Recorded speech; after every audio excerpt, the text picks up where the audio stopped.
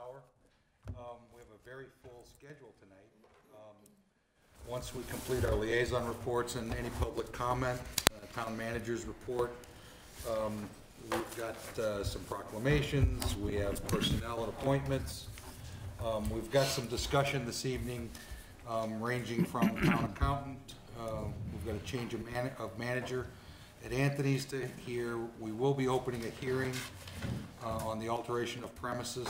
Um, We'll also have a hearing amending the liquor license policy. Um, We're going to have a report from our town counsel a little later on this evening on the town of Reading financial uh, um, overview, uh, including the ethics rules for an override. Um, We'll be discussing calendars and next steps surrounding that. Um, We will also open another hearing on setting water, sewer, and storm water rates for um, fiscal year two- 2017. Um, We've got some amendments on the non-union classification plan. Um, And we also have um, the town meeting warrant articles to review um, and make some decisions around some votes on that, along with some approval of minutes, um, licenses, permits, and approvals, and on we go from there. Um, I find it interesting that um, in my very first full meeting, we have two guys that bailed.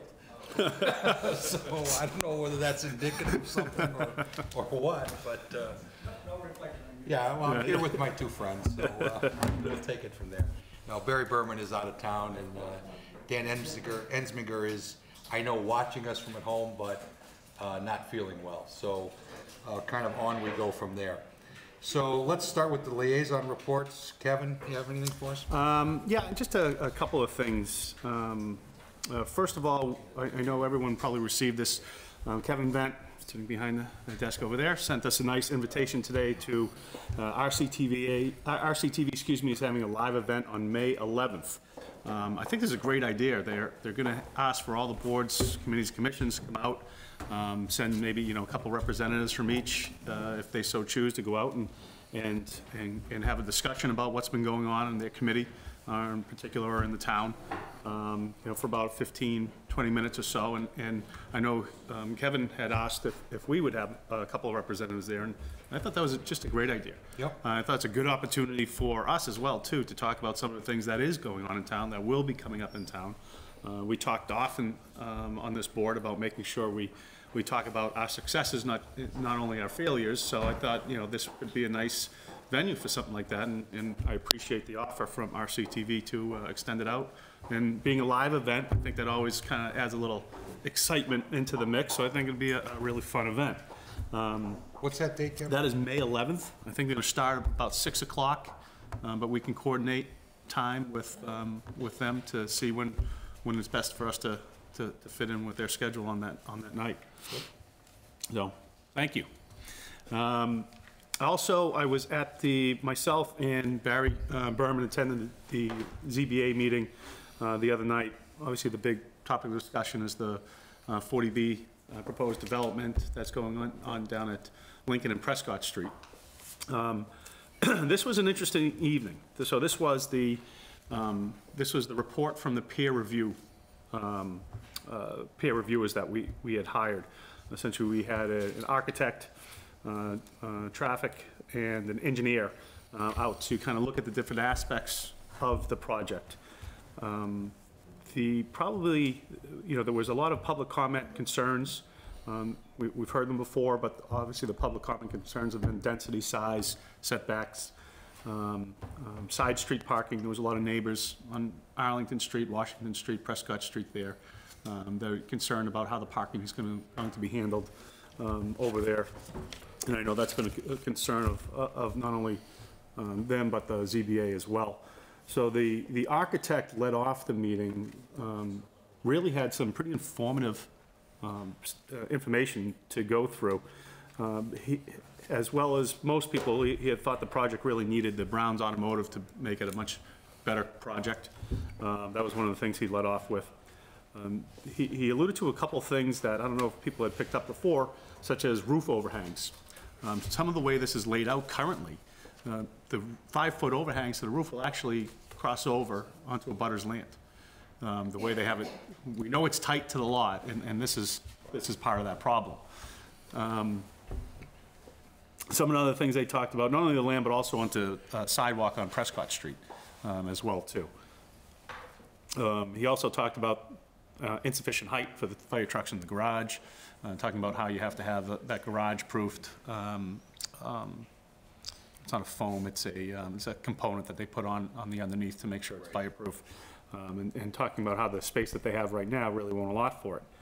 One of the more interesting things he came up with was that really has 78 spots on the plan, not the 80 uh, that they're put in. So they're, they're they're, yeah, they're rounding up a little bit, and as we go through this report, they started to identify other spots that probably would not be available as well, um, from a parking standpoint, uh, just from needs. Um, For example, one, the entrance going, entrance and exit, two-way on Prescott Street is 20-foot wide on the plan. Uh, It said it really would require a 24-foot wide entryway there to, to have, give a little bit more space for, for two cars to simultaneously go through that spot. That would eliminate one, one spot right there if they, if they so had to make that 24 feet. So there was, there was a couple of things where it started to look like, you know, the spots were, were certainly getting under one rather than just over one uh, per unit, which would be a big difference. Um, They also talked about the way Prescott Street's laid out, from the way these plans are, with having a, a curb and a sidewalk there, that you're actually, some of the folks that are parking up and along that building right now uh, would no longer be able to park there, just, they're gonna be pushed out into the street too far. So you'll actually be looking at not only a loss of parking space poten- potentially inside, but also on the street level on Prescott Street as well, where people currently park along that, that side street. So that would be a loss of space or a loss of spaces? That would be a loss of spaces. People park there currently right now to take the train. Yeah. And they would disappear why again, Kevin? The way they have it set up, where the building will be so, um, will be right out on the sidewalk itself, they're gonna be required to do a curb for the sidewalk. Um, That curb, by putting that in, actually kind of will push people out a few more feet into the street. So it's not a question of, you know, do you lose spaces, but do you want to keep those spaces there? bec- Now, the the folk, now the street's getting a lot narrower. It's not effective to keep them any longer. Right. Yeah. Um, That's what, that's what the architect was identifying. Um, Some of the other things I thought that were interesting that he identified, Building B is the small building, which would be in the certainly wood area, um, saying that it would really require uh, two stairwells if it's considered a second building, which I, I think you have a hard time considering that there are only one building. They actually called it Building A and B themselves.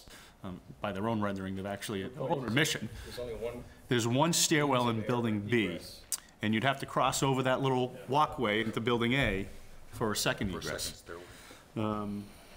There are a couple of, you know, there are some, there were a lot of minor things that seemed like you could get around, but these are some of the things that I found interesting that are like, okay, that, that's a space requirement need now. If they're gonna, they're gonna have to reduce something in that building in order to add in that. Um, um, Let's see, some of my, let me look over my other notes here. Um, The elevator, the one elevator for 77 units, well, it isn't, um, th- uh, there isn't necessarily anything wrong with that. Industry standards certainly would say will require two, to have for that many units, at least have two elevators, um, at least one in each, each building.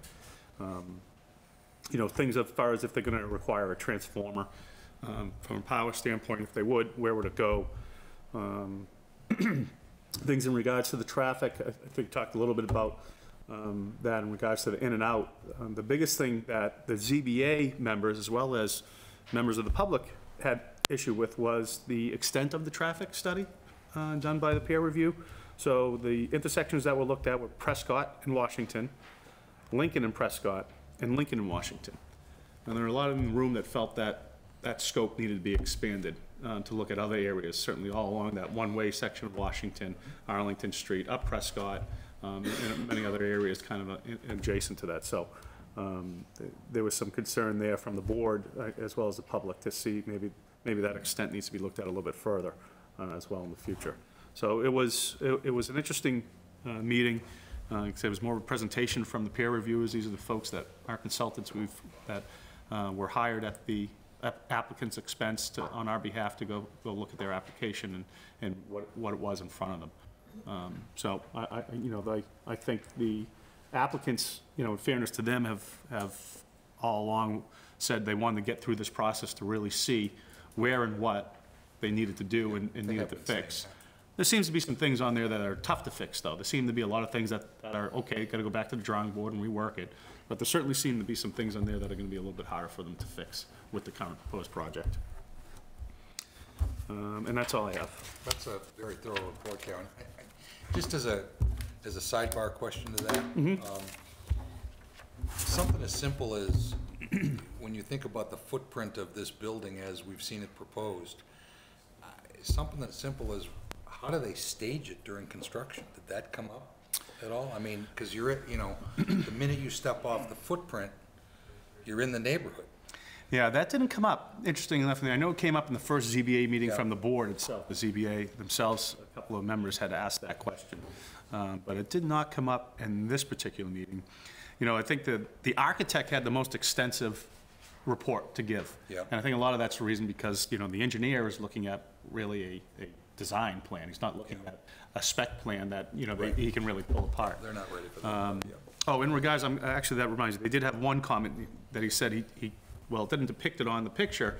He can imagine that that back part of the garage where the, um, underneath the, um, the courtyard and those, those sections which, that garage area is more than likely gonna require, um, uh, support.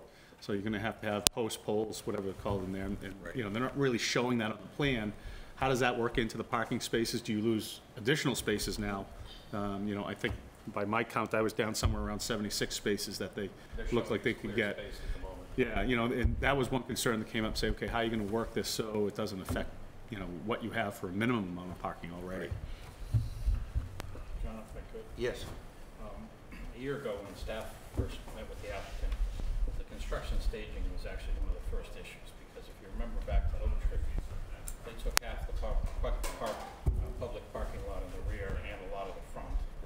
they were just trucking in their construction already pre-built. right. Um, So the applicant has admitted to us, they have absolutely no idea how they're gonna stage the construction on this, and they've looked at. I think our- that's our not a small, I advice. think that's actually No, not a it's not small a item. small issue. No, because no, it's It's in not. the middle of a neighborhood, it's not commercial space properly where you could just borrow someone else's land. Yeah, Um, And we can't very well give them the parking lot at the train station you know, for a year of construction. So we have no idea, and they have no idea other than it's off-site somewhere. And you have to have a construction trailer. So look at the footprint they're, you know, suggesting to take up, where do you put the construction trailer? Right. Never mind material. Where do you put the crane that's gotta boost all those pre-built up on five stories? Yeah, you're, you're talking about, because, you know, just think of the library site. That's a pretty big site. It's completely full for construction. all the time. You have a train station working, you can't very well shut that down. It's- It's Right. gonna be a huge issue, so. To what degree is that particular issue, the staging, and both for materials and for equipment, fall into the public safety or traffic? um, Completely within public safety. No question. That's, the police are gonna have to be all over that. Uh, Well, it seems like there are so many unresolved issues here, that, you know. Yeah. Um, But we are, the clock is ticking on this thing, is that correct? July 4th, I believe is the, is the date. Um, i- It's, now, did we ask for an extension?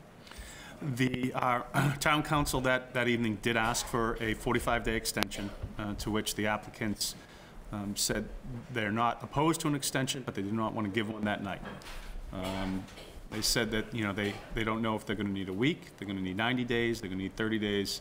They'd rather get to the point where they know the time um, of the extension in- to- in order to grant it. They did say they were willing to grant an extension that night. They just weren't willing to do it that Because we have a 180-day night. clock that Right. we're probably, are we 90 days into that clock? Almost. Yeah, Close. Um, March, May, June, not quite. And when are they reconvening? Do we know? They're reconvening on May 12th, Wow. yes. So we will be really down to the, And this is the whole month of April? Yeah. They asked for that time off apparently. the um, developers? Yeah. There was, there was also, con- there That's was, interesting that they would ask for that time off, yet they were not willing to grant an extension. Right, I it's running mean, the our clock down. well, in, in fairness, it was, it was a combination of the two. So th- they needed about six weeks. Six weeks started to push them into some uh, potential town meeting issue uh, nights, um, Right. and other, meeting issue nights. Uh, And they, they settled, I I think, a little bit, you know, longer than that, obviously, at the, on the May 12th. It's a great report, Karen. I- You know, there's so much to do there in so little time. Um, Mr. Reader?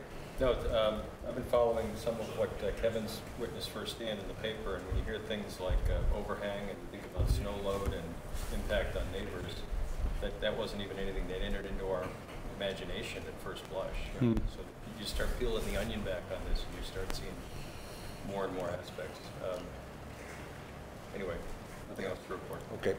Um, The only very brief report I have is that the, um, the subcommittee examining Birch, the Birch Meadow project as it's, um, both Phase One and Phase Two, continues to prepare recommendations. Um, And that's going to continue to happen. Um, Many things going on probably in front of that, but the work continues there. Uh, Beyond that, I have no other liaison report. Before I move to um, our town manager, is there any public comment? Yes, Mr. Brown? Uh, just to the board of selectmen last week, uh, nine veterans from Scuttlebutt went up to Pease Air Force Base, uh, Pease International it's not Air Force Base anymore, to act as greeters. And if you've never been up, I gotta tell you, it's a wonderful experience. They've had nine hundred and thirty-seven planes coming and going that greeted. Honor flights? Were they honor flights? Is that- No, just, uh, transfers of personnel. Oh, I see. Uh, The people that we uh, met were coming back from Spain for six weeks deployment. They're heading back to Barksdale Air Force Base. And I said, gee, that's, that's great. That's where I first assignment in 1951, July 4th, believe it or not. Um, But it's a great experience. There's nothing that those people don't do. The food is donated by Friendly Ice Cream, Coca-Cola, you know, everybody that goes up to greets is welcome, they can have the food. There's one line you can't have, that's for the, for the guys. It's just a nice experience, I think Kevin's doing a hell of a good job. Uh, he's brought the scuttlebutt back together, there's about fifteen of us now, meet every, uh, fir- every, the first Thursday of every month. so. I I think That's that's, great. yeah, that's a great group Yeah. that's been And, uh, pulled together. They've been playing at three o'clock in the morning, they've had three planes at one time, and if you talk to them, and you know what, it doesn't bother. them. Most of the greeters, uh, I shouldn't say most of them, I, probably most of them, yeah, are veterans themselves, and a lot of Vietnam veterans, uh, when they didn't get the greeting, when they came home. Yeah. As did, I didn't get a greeting either, I get it from my father, go work. Bob, you have the town managers? Uh, Thank you. Um, I just thought I'd just bring up one point which I found very interesting and certainly uh, it's good news. The last couple of months, we've spent a lot of time on how we spend money and uh, measuring kind of that. Um, We don't always get a lot of opportunity to measure the output, of how effective the money is. Um, There's a website that studied all the Massachusetts communities and ranked Reading number 12 in the state on public safety. Um, That's particularly uh, helpful for, you know, crime and police. Right. Uh, Of our 26 peer communities, including Reading, uh, only Shrewsbury was ahead of us. So, um, you know, it's nice to draw attention away from how much money you spend on something and put it on uh, what are you doing with it? Yeah. How effectively are you using it? So Reading is spending an average to a, sli- if you remember, slightly above average in public safety, and the result is outstanding. So uh, just, you know, hats off to the police and to the fire department uh, for such a good result. Do you remember the name of the website? Um, I'll find it, I just got a, uh, an email today, it wasn't one I had heard of. I'll- We'll put it up on our website. Uh, And we don't do enough of the discussion of the value proposition. Right. You know, what we get for what we're spending. Um, And we- Yeah. we find ways to make it all work, and we're getting a good result in many facets of town government, that's for sure. Yeah, um, I'll defer the rest of my comments for items later on the agenda. Okay. Thank you. So I'm, I'm- I'm a little new at this, so um, you're going to have to bear with me. We have an open session for topics reasonably, not reasonably anticipated. Is this kind of an open forum item? It's, it's, uh, you know, you've asked for public comments, so now you can go, just go on to Sharon. Okay. So that being the case, Sharon, you have a report for us? I'll be pretty brief. Okay. So I'm going to start by giving you our fiscal 16 um, performance, just an overview. Um, We collected about, you get that buzzing noise? Oh. Stop. I thought it was. It was a lie detector. Very good. So we've collected about seventy-six percent of our revenues thus far, so we're a little ahead of um, projection, so I have no real concerns about deficits or anything of that nature.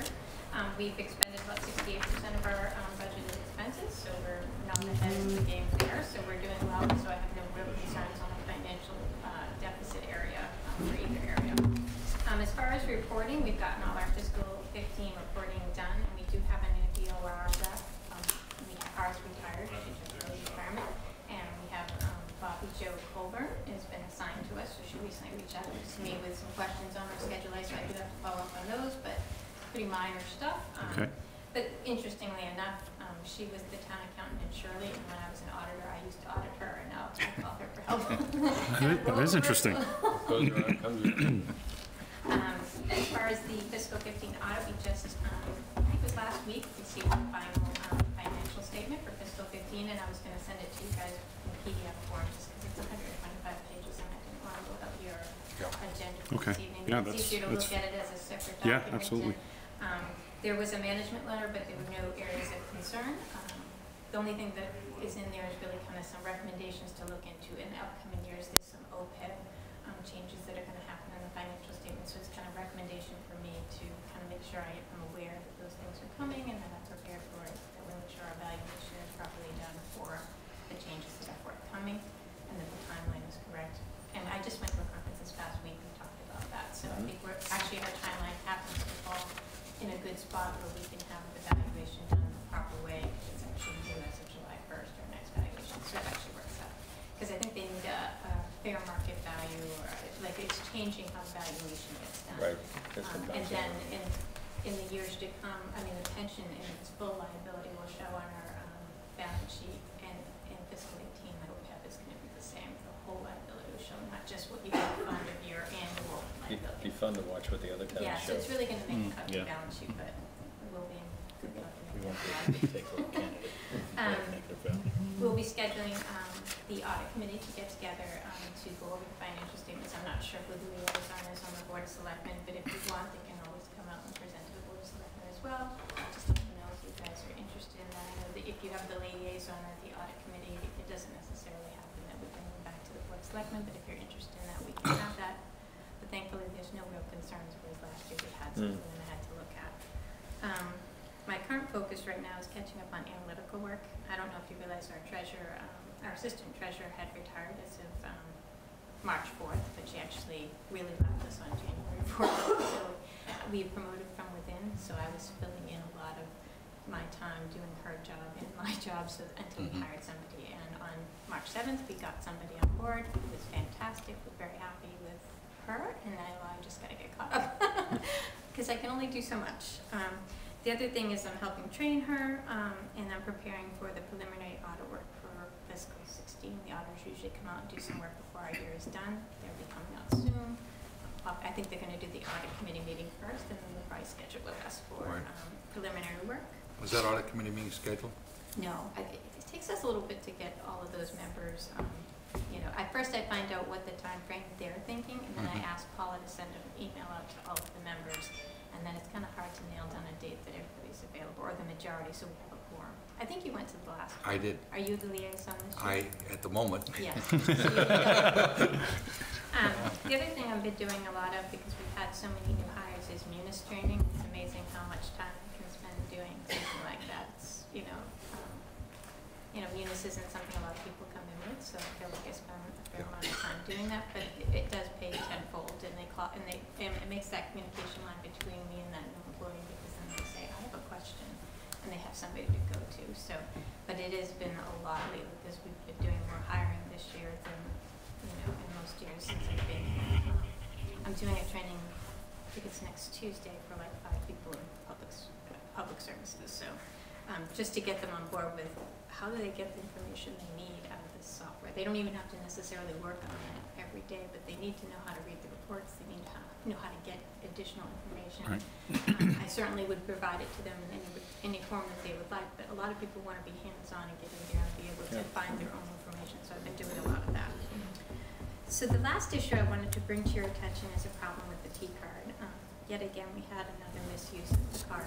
Um, and it wasn't an intentional one, I don't believe the person realized your um, Board of Selectmen policies, which are handed out, actually indicate that um, the P card is not allowed to be used for any travel, so for hotel, airfare, meals on travel for employees, absolutely not. It can only be used for student activities and student travel, um, because we had had that issue at Armaldi years and years ago. and Sure. That was the reason why the board wanted it that way. But I think that it's somewhat reasonable that people think, oh, this is, this P card's there, so I don't have to front costs for things.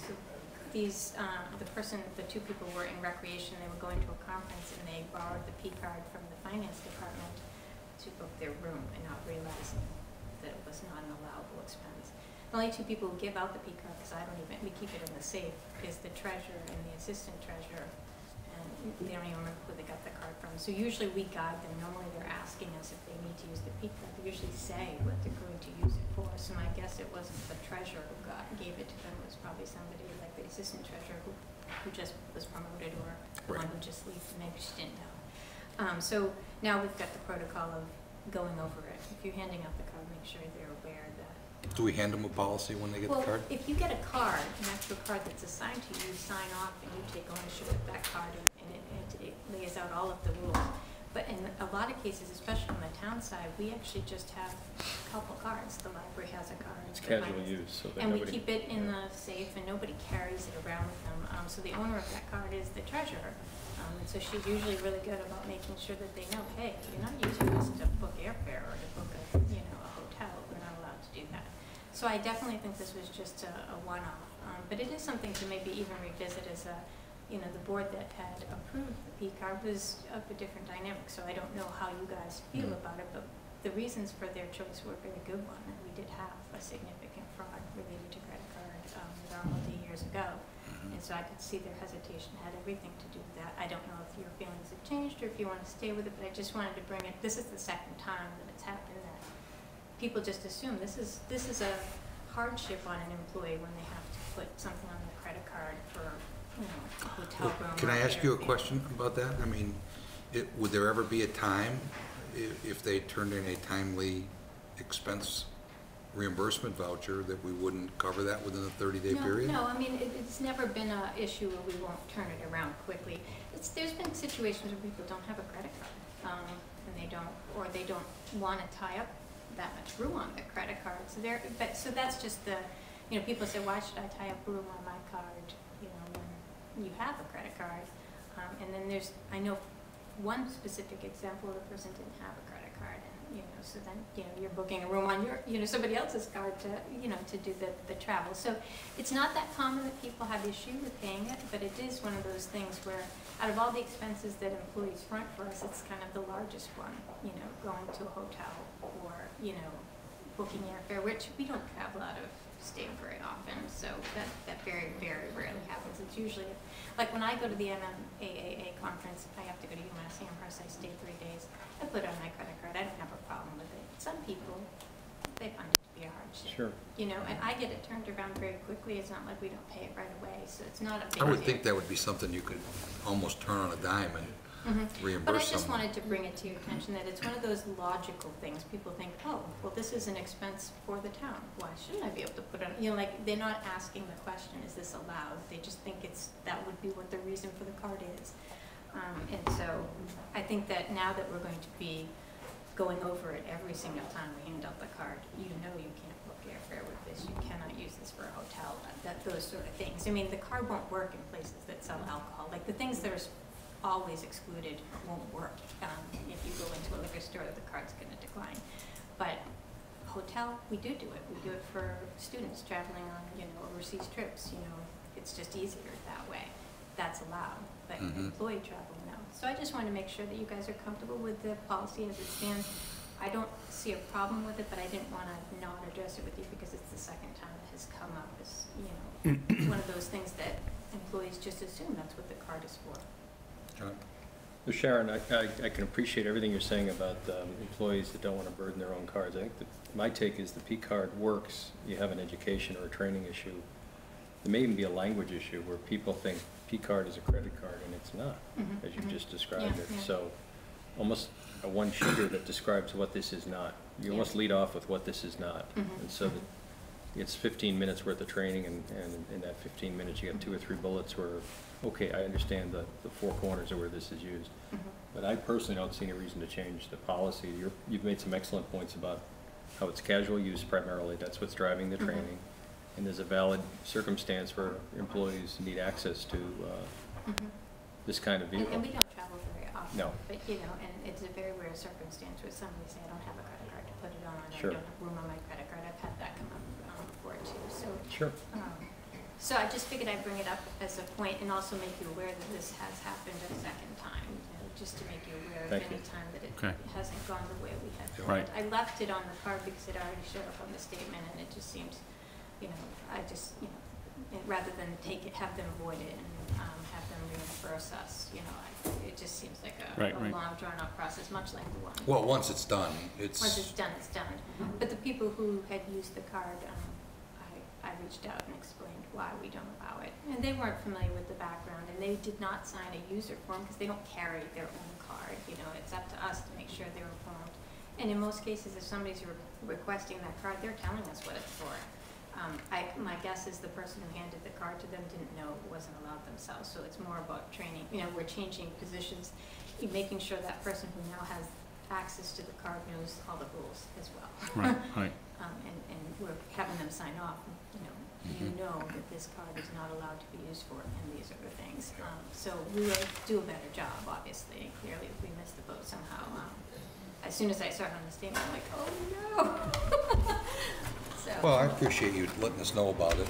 It doesn't sound like to me, It wasn't abuse of any kind. it doesn't sound like this needs to be changed. It just sounds like we need to, you know, step up our training. Kevin, any thoughts on this? No, I, I'd I'd agree with both you and John, that, you know, I don't see any need to really change it where it's such a, a small amount of usage. Um, but, you know, just, as you said, just making sure that people are properly trained on, on handing the card out. Yeah, exactly. I mean, the, the, the schools have a card for each school, you know, and the people that use are the same people over and over. We don't use our card as much on the town side. We use it, um, for technology and things like that, that we have to buy online that we're gonna get a better deal on.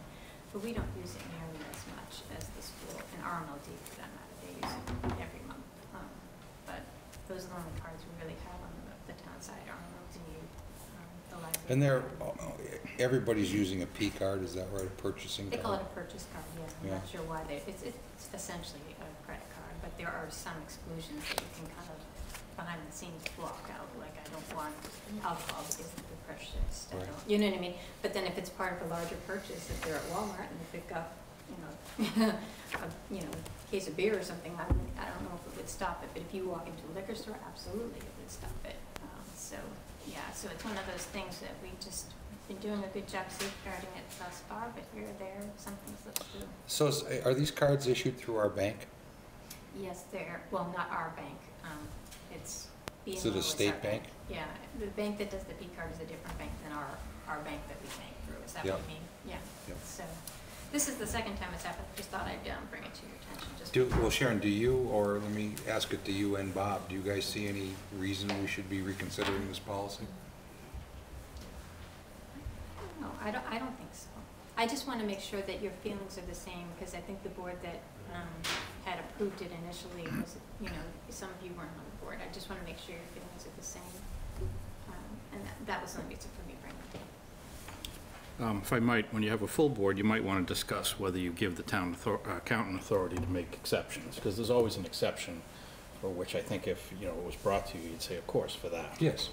And right now, there's no There's ability no for that. wiggle So room. Yeah, good example If you're of that comfortable is- with that, you might discuss it. It seems like, you know, when I, when I've reviewed some of the policies that have been in place for a long time, there's probably a lot of Yeah. um, refinement that we may want to have a, you know, kind of an agenda item where we look at, Mm-hmm. we look at some of these, that's, doesn't seem to be unreasonable. I mean, A good if you example. find yourself with an employee who really can't buy an airplane ticket or, you need to have, you're the one that reports to us, so, Mhm. you know, I, I, that doesn't seem unreasonable to give some discretion. Give some some thought to an an amendment to that. It, it is something we should do with all five of us here, though. Mhm, I don't think that that's something we can consider tonight. We did have a- an example um, s- fairly recently. We had the, um, one of the assessment centers for, I don't know if it was the deputy Yeah. fire chief. Assistant fire chief. the assistant fire chief, and, um, Judy Perkins wa- asked me, can I use the food card to order the food for that? And I'm like, I don't know, that's kind of a gray area because it's applicants, but then the employees would be, you know, I don't know. It kind of, that was kind of a gray area. It's not travel, but it's food for employees um, or potential employees, so I didn't know how you view it. I was like, ah, it's kind of a gray area. It doesn't seem like it would be a bad thing. I wasn't sure. So they, that discretion would be nice for me to be able to say. Yeah. I think that's reasonable, you know. Well, I think we take that up at a, Okay. you know, when we have a full board, and this along She's with just ordering food, but that can get expensive for ordering. Yes. several other of our policies.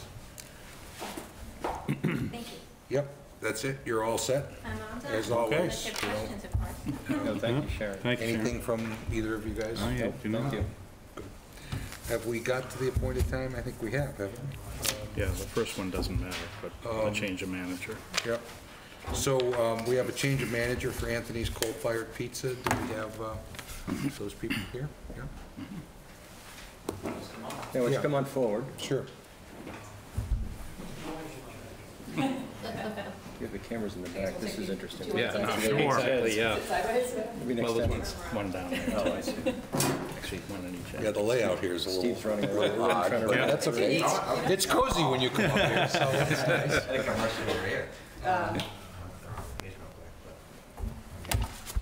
So this is a, a change of manager for Anthony's Coal Fired Pizza. Um, with me is John, who's a new proposed manager.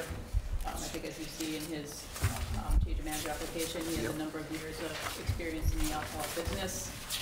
Um, tip certified, um, he's here to answer any questions you may, you may have of him. Um, I think it's pretty, John, I might. Yes. Um, You know, police reviewed the application and certainly have no issues with it. Um, I thought this, it was worth mentioning that, um, you know, we've had a lot of dealings with Anthony's as a new business in town, as an applicant along the way. Um, And um, it's really gratifying to hear that through residents, uh, the business is telling the residents the town wasn't so bad to deal with. That doesn't happen all the time. And uh, as some of us know firsthand, um, the business was, you know, massively overstaffed on purpose for the first month or so, with a lot of people up from either Florida or other locations in the New England area down Westwood, to make sure they had good training. Um, Correct. And it was very, it's very clear, we deal with new businesses frequently, it was very clear that this business was extremely well-managed from the first instant they set foot in town. Um, So, you know, just thank you for, you know, being easy to deal with, and uh, especially for uh, handing out some compliments apparently through the, uh, through the residents. It's it's very nice to hear that. And I know that, um, you know, from all, all uh, comments I've received from residents, your service is great and your food is good, so congratulations on that. Yeah. Yep. I would echo that. I mean, I've had a chance to visit several times, and it's been a great experience. I, I think I commented, Bob and I stopped in one day, and, Yeah. and I, by the time we got done with the, with the service and the food, um, my comment to him was, this place is gonna be busy all the Yeah, I time, uh, you know, um, and it, and it seems like it's pointed in that direction, so it's, it's great when a business comes to town and really actually understands what they're doing, so I would echo that, Bob. I think they've done very well in Westwood, so hopefully that, they keep trying going. Um, Any other questions or comments from the board? None. John, can I ask you to Sure. act on behalf of our secretary tonight? Sure. Uh, Move that the Board of Selectmen approve John C. Boucher Yes. as uh, the new manager of Anthony's Coal Fired Pizza, 48 Walker's Brook Drive. Seconded. Uh, All those in favor? Opposed? That was easy, huh? Best of luck. Thank you. Thanks.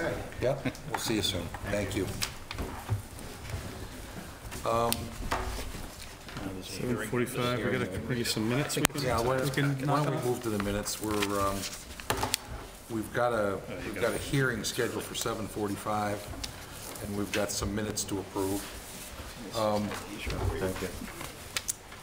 So relative to the minutes of March 8th, anyone comments or amendments?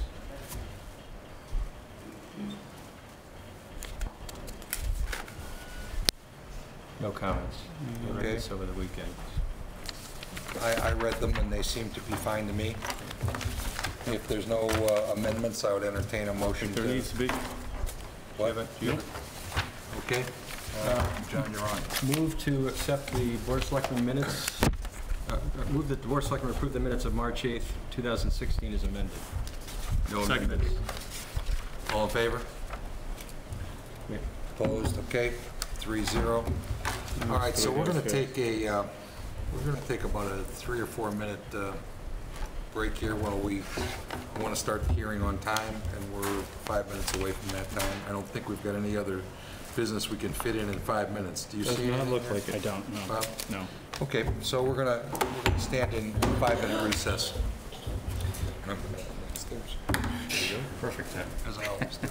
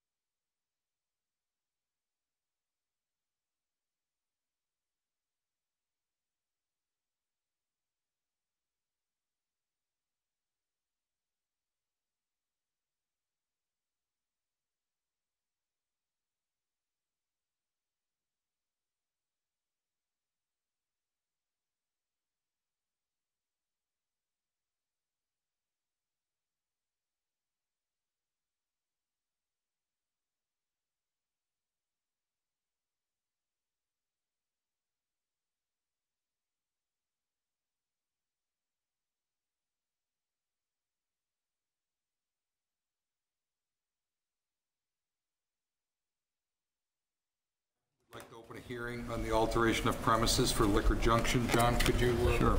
To the inhabitants of the town of Reading, please take notice that the Board of Selectmen of the town of Reading will hold a public hearing on March 22nd, 2016 at 7:45 PM in the Selectmen's Meeting Room, 16 Lowell Street, or as it happens tonight, um, at the uh, Senior Center, uh, Reading, Massachusetts, on alteration of premises for Kajal and Kevin LLC DBA Liquor Junction, 1 General Way, Reading. A copy of the proposed document regarding this topic is available in the town manager's office, 16 Lowell Street, Reading, Mass., Monday through Wednesday, Monday, Wednesday, Thursday, from 7:30 a.m. to 5:30 p.m. Tuesday from 7:30 to 7 PM, and is attached in the hearing notice on the website at www.readingmass.gov. All interested parties are invited to attend the hearing or may submit their comments in writing or by email prior to 6 PM on March 22, 2016, to townmanager@ci.reading.mass.us. And are the parties from Liquor Junction? Yes. Yes, please. So, um, we have a request to alter the premises. We, we want to, um, request to increase the storage in the back area of the store by eleven hundred square foot footage. It's not gonna impact the retail space that we have. It's just gonna be the storage area. No. Okay. Questions from the board? So this is not accessible by the public, it's purely accessible by the staff. Yes. Um, The question I have is more procedural, is the reason why they need to come before us to increase storage. Is, what's, what's the, what's the protocol on this, Bob? Uh, Anytime they change, they've given you a a blueprint, a floor plan in the past, any change they make to it, they have to bring, whether it's seating in a restaurant or retail space or not retail space in a liquor store. Um, The, you know, the plan on file is not what they want to have, so it just needs to match. Is that state or is that, is that That's us? state. That's state, And, okay. you know, just historically, for what it's worth, uh, the selectmen have never questioned anything other than maybe retail space in a liquor store. Sure, sure. And I'm guessing you're not shrinking the retail space, you've added space. Yes. You know, you've just taken more space in the building and Right, it in the serves back. as storage for you. Yeah. Um, Any other questions of the- from the board? I have none. None. Any from the public, since this is a public hearing? Um, Hearing none, Ready for the motion? I'm ready for the motion. Move that the Board of Selectmen close the hearing on the alteration of premises for Kajal and Kevin LLC DBA Liquor Junction, One General Way. Seconded. In favor, of closing the hearing. Three zero. Move that the Board of Selectmen approve the alteration of premises for Kajal and Kevin LLC DBA Liquor Junction, One General Way by allowing the expansion of the back of the store by 1,100 square feet for storage, and no retail space will be added as part of this alteration as indicated on the plan entitled Liquor Junction Reading Expansion A-1. Seconded. Any discussion? All those in favor? Three zero. Congratulations. Thank you very much. Very much. Enjoy your new space. All right. And Now I gotta find another space Okay, killer. now we gotta fill another space. We might be able to fill 10 minutes, huh? Is there I anything in can, I there? can do that. Um, The only article that's not time-sensitive is uh, voting warrant articles, if you want to have a look at those. Yeah, we could take a look at those and we could kind of, we don't have to do them all at once, do we? Certainly not. Okay. So, let's see. So if you, um, I'll put it up on the screen, but Okay, good. That's even better. Um, Article 4, is, you you know, as you know, uh, the chairman will deliver a uh, state of the town in Article 2. Um, We don't know if anything will come up in Article 3. Article 4 is um, capital. You've seen this before. It's, it's a small reduction in the current fiscal year. Mostly it's rearranging, a lot of that's facilities. Uh, There is one new uh, urgently needed uh, dump truck purchase. It was going to wait till July, but it really can't wait. It needs to be purchased as soon as possible. Um, And then uh, a larger decrease in future years. And then there is, um, you know, some rearranging of future enterprise funds, but nothing is, well, I guess I'll say material. Uh, We've actually seen some of this before. You've seen this all Yeah. before. Yeah, I thought we had. Uh, Probably in January, it hasn't changed. Uh, Actually, I stand corrected, some of this has changed in terms of some of the rearranging of some facilities expenses. This used to be a zero, and now it's 15,000 reduction.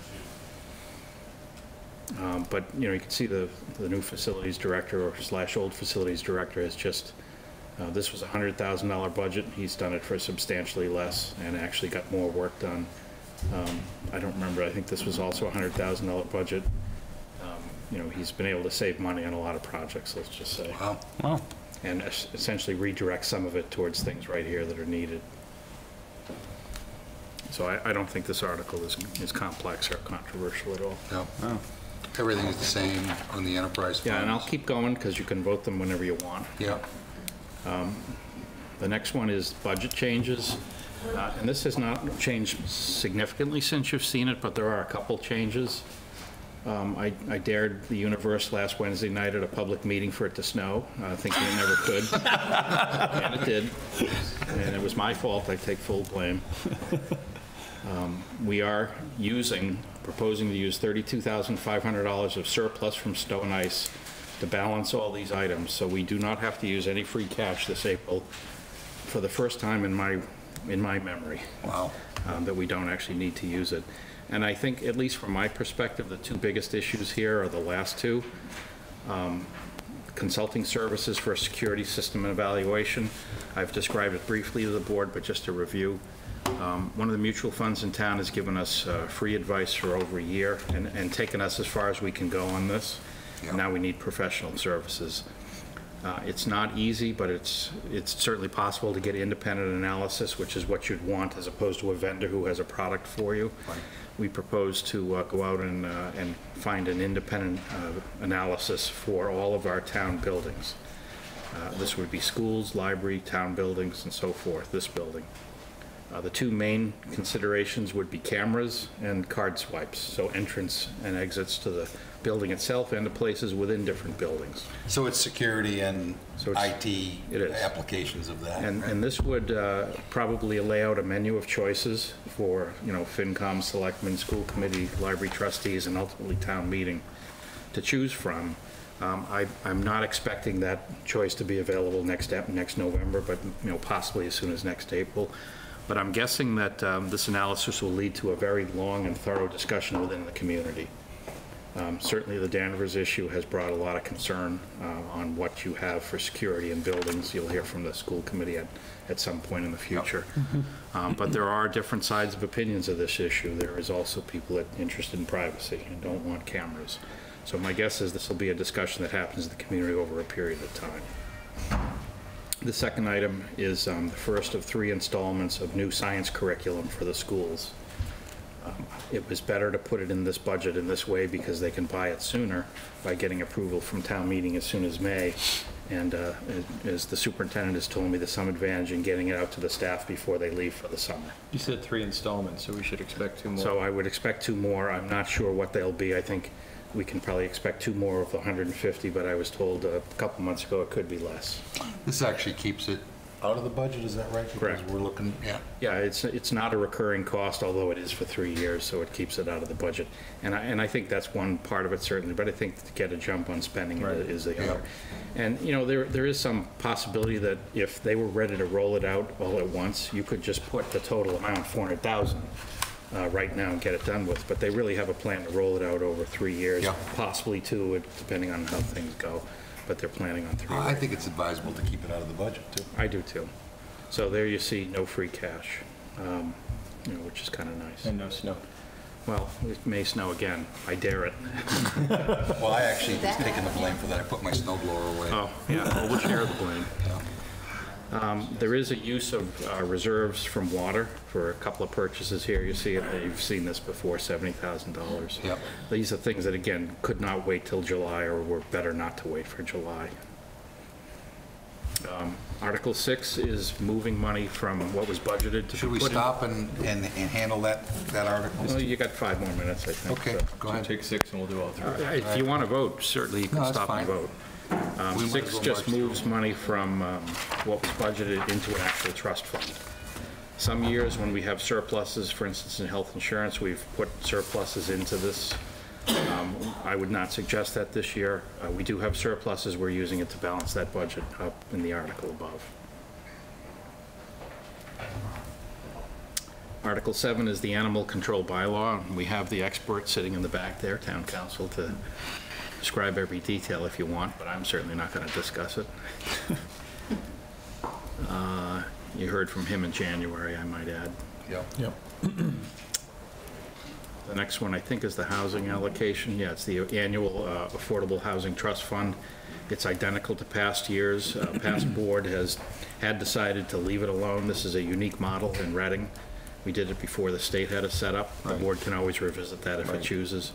Uh, Right now, the uh, operation effectively is you sitting jointly with the uh, Housing Board, uh, Housing Authority folks, and voting to spend money, for instance. Um, The state model and other communities use a different model. They have a board of directors for this. There's only $200,000 in the fund, there's no uh, recurring deposits, so it's probably not worth, yeah, That's the it's probably not worth a 261 lot of there. effort. Yeah, there's the, the funds right there, 260. And that's a no change from, Correct. 200,000 was used um, for the Haven Street project a few years back. Uh, There is money anticipated to come in from the memory care place up on Main Street. I think it's 125, or 175,000 over five years total. So 35,000 a year, I think, for five years. one unit. Yeah, if you want to look at it that way, maybe. Um, Article 9 is revolving funds. There's some minor changes in wording. This is to allow the economic development planner, although technically it probably would fit under general management, but that's just transparent for town meeting. And then there's another one, I can't see it, but we changed it to the facilities director. I think it's Mattera, here it is, Mattera Cabin. Um, That used to be under the recreation division, now it's Right, been under facilities. taken under facilities formally. Uh, No other material changes. There's some uh, disposition of surplus in this article. Again, nothing terribly interesting.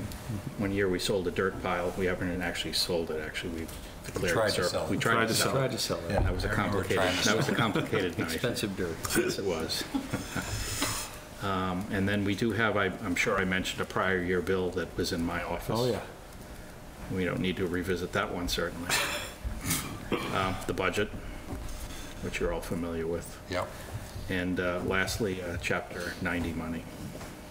So you guys want to try to get some votes on this before we move? Yeah, I, you know, I'm, Got a couple I'm minutes actually, anyway? I don't know how you- the, the two of you feel, but I'm comfortable on everything, but I wouldn't mind hearing from town counsel about the animal thing, but we don't have time to do that now, because we're gonna have a hearing, so. You can why don't vote- we- you can Why don't we vote vote on everything later. everything Okay, else? let's move on. I mean, i- are you guys comfortable with I'm it? comfortable with that. Okay. So, So the motion would exclude Article 8 on the second Article- page here, tonight's. Article 7. uh, Oh, I'm sorry, is that 7? Yeah. so, um, can we do this as a block, Bob? Is Yes. that- Yeah. Yeah. So, So I think the answer is move that the Board of Selectmen recommend the subject matter of Articles 4 through 6 and 8 through 13 or 14? 13. 13. 8 through 13 of the 2016 annual town meeting warrant. Seconded. Any discussion? All those in favor? Three zero. Okay? Okay. Come back and get the other one uh, on the other end. And I think we've gotten to the appointed hour for the next hearing. Mr. Arena, can you uh, open us up here? I'm not sure if I have this one. Here, uh, I know, I got it.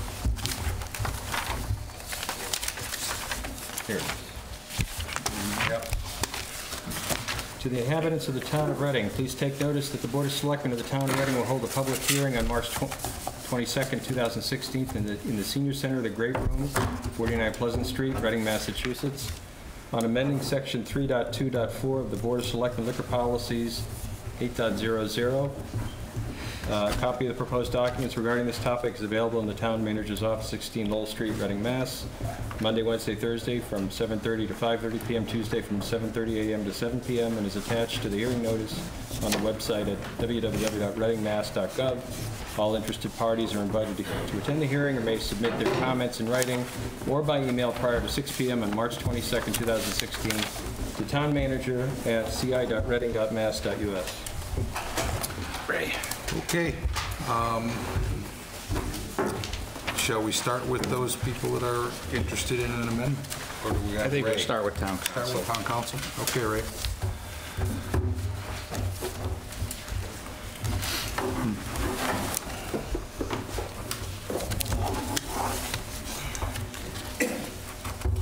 In your packet tonight and on the screen behind you, uh, packet starting page 12 is a three-page memo from, from town counsel. I'll try to um, summarize it as, as, as best I can. Um, the- We prepared the memo because Bob asked us to look at whether the town could issue a liquor license to an establishment that didn't want to serve food. And the answer, oddly enough, is no. Um, And, um, and I'll explain why. The, um, what we're talking about here is uh, so-called Section 12 licenses, or sometimes you um, refer to them as pouring licenses. And under the state law, there are six categories of um, pouring licenses, Section 12 licenses. There's restaurant, there's hotel, there's club, there's War Veterans Club, there's general on premises, and there's tavern. Um, So, um, a general on-premises license is the, is the category um, for the sale of alcohol beverages without food. And um, under the town's current policy, there is no provision for the issuance of general on-premises licenses. So we, uh, the policy only really addresses restaurant licenses and club licenses. Um, uh, We're not talking about, you know, special one-day licenses, that's, that's a different category um, completely. Um, So, um, uh, currently, we have a provision which is in section 3.2.4.5, which provides that commercial establishments may hold a wine and malt beverage license to serve customers who engaged in taking instructional classes not more than three hours long. But the problem is, is that that provision is under the uh, restaurant licenses category. It's not, it, it does not authorize the issuance of an on-premises license. So, um, uh, so while you could issue such a uh, license, it uh, would require the license holder to also get a common license so they could serve food. So that's, um, um, uh, so it, the answer basically is, uh, we have not, you, you have not authorized the issuance of general on-premises licenses at all, and so therefore you, that, a, a, this would be a category of general on-premises licenses. So in that letter up there, um, we um, suggested that if you want to go down this road, um, you can uh, make some modifications to the policy um, to accommodate it. So you would create a new section that authorizes general on-premises licenses and um, uh, um, the, and specify the provisions that it would need to uh, comply with. You'd have to amend the, uh, that nice little table that we have up there. And um, uh, then you would take the provision that you currently have under 3.2.4.5 and move it to this new section. So the language would be the same as what you have now, and obviously you'd have to set some kind of a new fee. Uh, And to set the, um, the hours, um, the statute pretty much limits what, what you can say about hours. So um, uh, you can, you, you can go beyond, but they, um, um, but your uh, standard, the, the statute uh, basically requires that, that um, Monday through Saturday, that operating hours would be 11 AM to 11 PM. That's the minimum that you can authorize. Um, You can, uh, it's within your discretion to allow them to open earlier and to stay up, stay out, uh, open later. Um, But um, any license for, um, under section 12, has to at least authorize operation from 11 AM to 11 PM. And um, um, the, um, um, so in addition to revising the policy to allow for gen- general on-premises on-premises licenses, we think that you may want to consider a, a bigger amendment to the policy. Um, Specifically, um, it hasn't been updated in a long time, doesn't have anything from um, farmers mark, addressing farmers markets, It doesn't um, currently have any provisions for taverns and veterans clubs. You have a veterans club that is holding a club license. Um, It'd be nice if they could switch over to a veterans club license because they don't count towards your quota. Um, We have one or two. VFW is the only one I know. I think it's only one I think that I've heard only of. Okay. Um, But, um, um, uh, it- you're not close to um, uh, using up your licenses, so your quota is not, you know.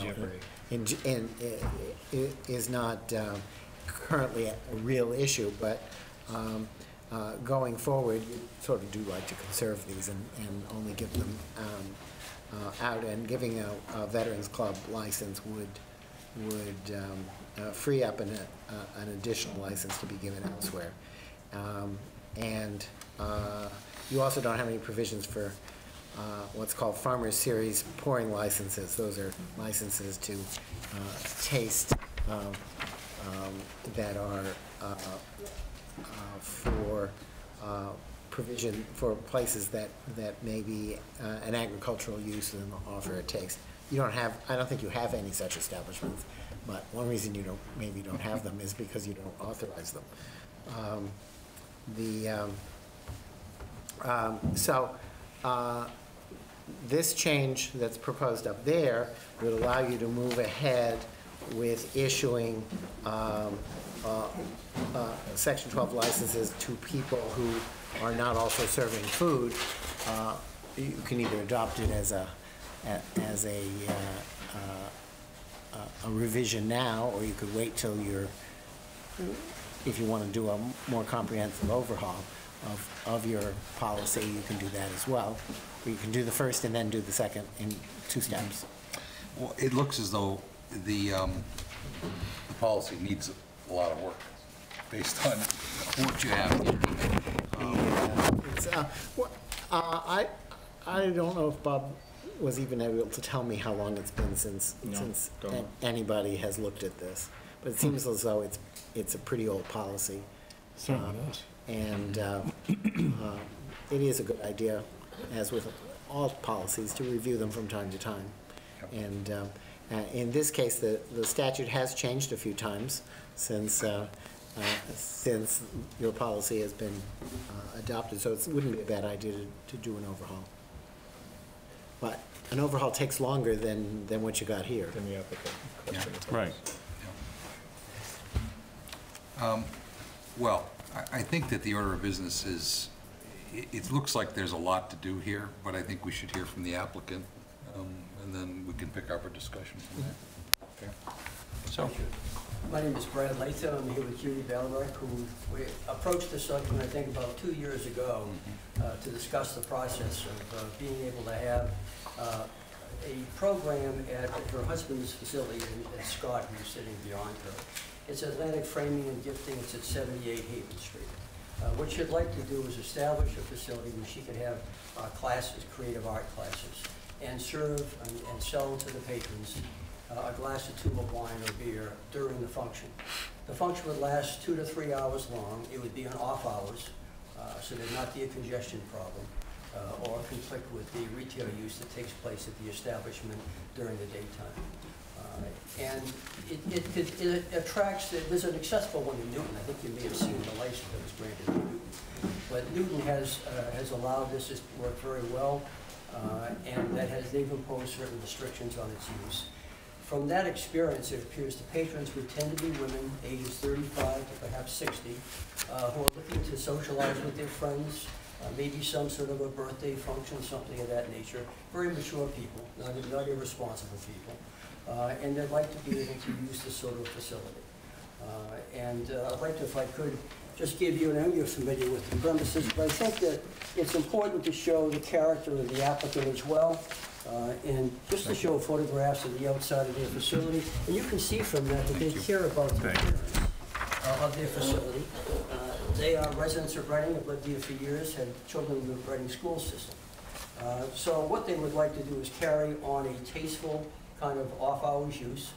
I think another positive feature from a Chamber of Commerce point of view is that what would probably happen here is women might go there, let's say, at 6:37 in the evening, uh, spend a couple of hours there going through whether it's making wreaths in certain seasons or doing painting or even maybe minor sculpturing. And then after finishing a couple of hours of enjoyment socializing, is actually patronize a local restaurant because there would not be food served as part of this process. So it would be helpful, I think, it would help the successful revitalization of, of that section of Haven Street, the downtown restaurants. Um, I think that, you want to add anything to this at this point? So that, that's pretty much uh, the nature of what it would be. More than happy to answer any questions you may have. Questions from the board? I was on the board uh, two years ago when I think this matter came before the board, and um, I was actually a proponent of this, and I was persuaded, I think, after the vote, to, um, that there was a bit of a law of unintended consequences. I have no doubt about the the bona fides put before us about the entity in front of us or the individuals in front of us. But there's a, once you've got this on the books, there's a little bit of a, of a judgment that we've got to apply, or a slippery slope we've got to apply in terms, and we always have that in terms of our one-year renewal of these licenses. But um, we're entering a bit of new turf here. This is, this is not what we've done in the past. We've had, we serve serve food. It, it, what, what have you done over the last two years in that light? Have you attempted to, to comply with the restaurant? I've been, no, I've been trying to find a space, I see, and I haven't been successful because I have been very specific where I I wanted to see. be located. So you haven't conducted anything in the town? No, she's never applied for Period. No, that license. no, Okay. I've just been waiting for. So it was generally agreed on. It was, it was voted against because the principle was, we have a policy that requires the service of food. That's I a see. helpful, that's a helpful barrier, if you will, to prevent the unin- unintentional and unanticipated um, use of uh, a liquor license for other than what we're familiar with and other than what we're accustomed to. So I think this is over two years ago. Right. I wasn't on the board at the time. It was, Um, It's exactly two years. And it was voted, they were not granted a license. Is that, is that the order of things? I I'm can't just remember trying if to- you- it was- Did you- it did it you remove- approved. I can, They amended the license. They I can straighten it out. license? Okay, please, Bob. Um, The discussion with the board was food or no food, and there was some majority on the board that felt food was very important. Right. You know, whether it's a gourmet meal or not, you know, it was left to my discretion, which is probably the biggest mistake that could have been made. Um, But the board felt very strongly, uh, in terms of the unintended consequences, food, yes. Um, Prior town counsel then fashioned a policy to allow one exception, um, And what current town counsel is telling you is that really is really not suitable to be put in the way it was in terms of how ABCC looks at things. So the cleanest way to go forward is, is- you, please jump in, Ray, there's, there seems to be two options. One is, under this general category, create the new category, allow this business to apply for a license under the general category, and you cannot require them to serve food. That's one option. Uh, The other option is to allow them to be under the uh, restaurant section as, as was thought previously, but now town counsel is saying if they do that, you can't carve out an exception for one license, they have to have a common victualer's license. Those- So you're either the all only in Two choices. Or not, Yeah. yeah, on that particular type of license. That's Right. Because the one that it sounds like we granted kind of flies in the face of Mass General Law, Well, the ABCC. Well- or the ABC regulations. Kind of restaurant late. Yeah. Okay? Exactly. Yes. Mr. Chairman, I I think one one of the items, of course, of having a board that issues a license is to exercise discretion. Uh, And if you impose conditions of the limitation of number of hours that it can operate, limitation of number of drinks that can be served, the type of alcohol that can be served, and the environment in which it takes place, it seems to me that that is the precedent. And how many places are going to try and establish two hours or three hours of operation, serving only beer and wine, has to be the people who are actually there for the artwork, not someone off the street. It's not a high profitable activity. I don't see that being abused. And we have concern about it generally. Yeah, I, I do, I hear what you're saying, and it sounds like that's what the prior board actually voted to do. But I think the way I understood town counsel is, we really can't do it that way. You know, you'd have to amend your policy first. Amend the and then do policy it. in order to be able to accommodate what you're saying. But then the condition of the license is what sets the precedent. Yep. It controls this applicant if you grant the license, but then someone comes before you for some other use, you have a precedent of what you've allowed and not allowed. Yeah, but I, am I right, Ray? And- And I'm, I hear exactly what you're saying, and I understand, you know, the petition in front of us, but I just want to be sure I understand. If we do this, we have to change the policy to allow a general license, is that correct? That's correct. Okay. And that allows the exclusion of the food requirement, That's right. okay? Um, But to your point, we could set certain limitations. I don't think that's true, based on what I see here. Well- That there are no limitations. um, What you, what you can, so, the, um, the statute requires that if you issue a license, that it authorize sales from 11 a.m. to 11 p.m. Correct. I You get- can impose a condition on that, on the license, such, such as, um, you can only serve for three hours at any one time, or something like that. And as long as the applicant is, agrees with that and doesn't, um, you're fine. If they agree to it, you can put it in there, and everything is copacetic. If, however, the applicant, five years from now, were to come to you and say, we want that restriction removed, you would have to remove it. We'd have no option because the board cannot limit That's correct. service. That's Can't- correct. Mr. Chairman, if I Yes. may, I, I looked at the proposal made by town counsel, which I think is right on the mark. He's proposing section three-two-seven-one, which says that it's limited to not more than three hours. Only class members shall be allowed to purchase alcohol. So it's right in your policy, that limitation, It's not just in the license. And What I, what I'm telling you is, yes, that's a very good thing to put in your policy. And if everybody agrees to it, it's fine. But if you get a challenge, somebody says you're limiting my hours to less than the statutory minimum, We have you no are. recourse. You are. Yeah. Yes. Kevin? you- Well, no, go ahead, Bob. If I might, um, just so the board's aware, we have had discussions informally with other potential applicants, and one has actually put it in writing. So just let me read it for the record. Um, This is from Denise Lake, Century 21 North Shore, Lowell Street, Peabody, Mass. Um, uh, Quote, "I've been in contact with Jean Delios and Paula Schenner regarding a request to serve alcohol at the property above, which is One General Way, Unit 70, Tropical Nails and Spa. Um, I was the Realtor involved in a build-out with the Danis Property Group. Um, The owners, I won't say their name, are in a five-year lease with this new business and are requesting permission or license to serve a complimentary glass of wine to customers. I attached a handwritten request from them. I do understand the meeting tonight is addressing this type of request in general, and Paula suggested I put something in writing, and, and the written note is attached tonight. So I just want the board to be aware that there is at least this one and possibly other applicants that will follow Mm-hmm. if you, you know, Right. open this general license. And that, that was kind of the gist of the original board, is this, the food element was a barrier, if you would, to spurious use of the license for anything but the intention. Now, mm-hmm. we may have gone about it in the wrong way, or in a way that ABCC wouldn't recognize today, but that was the spirit of what we did, was to fit in the desire to support this group while trying to find a way to support it without opening the doors and completing, creating a whole other general pouring license.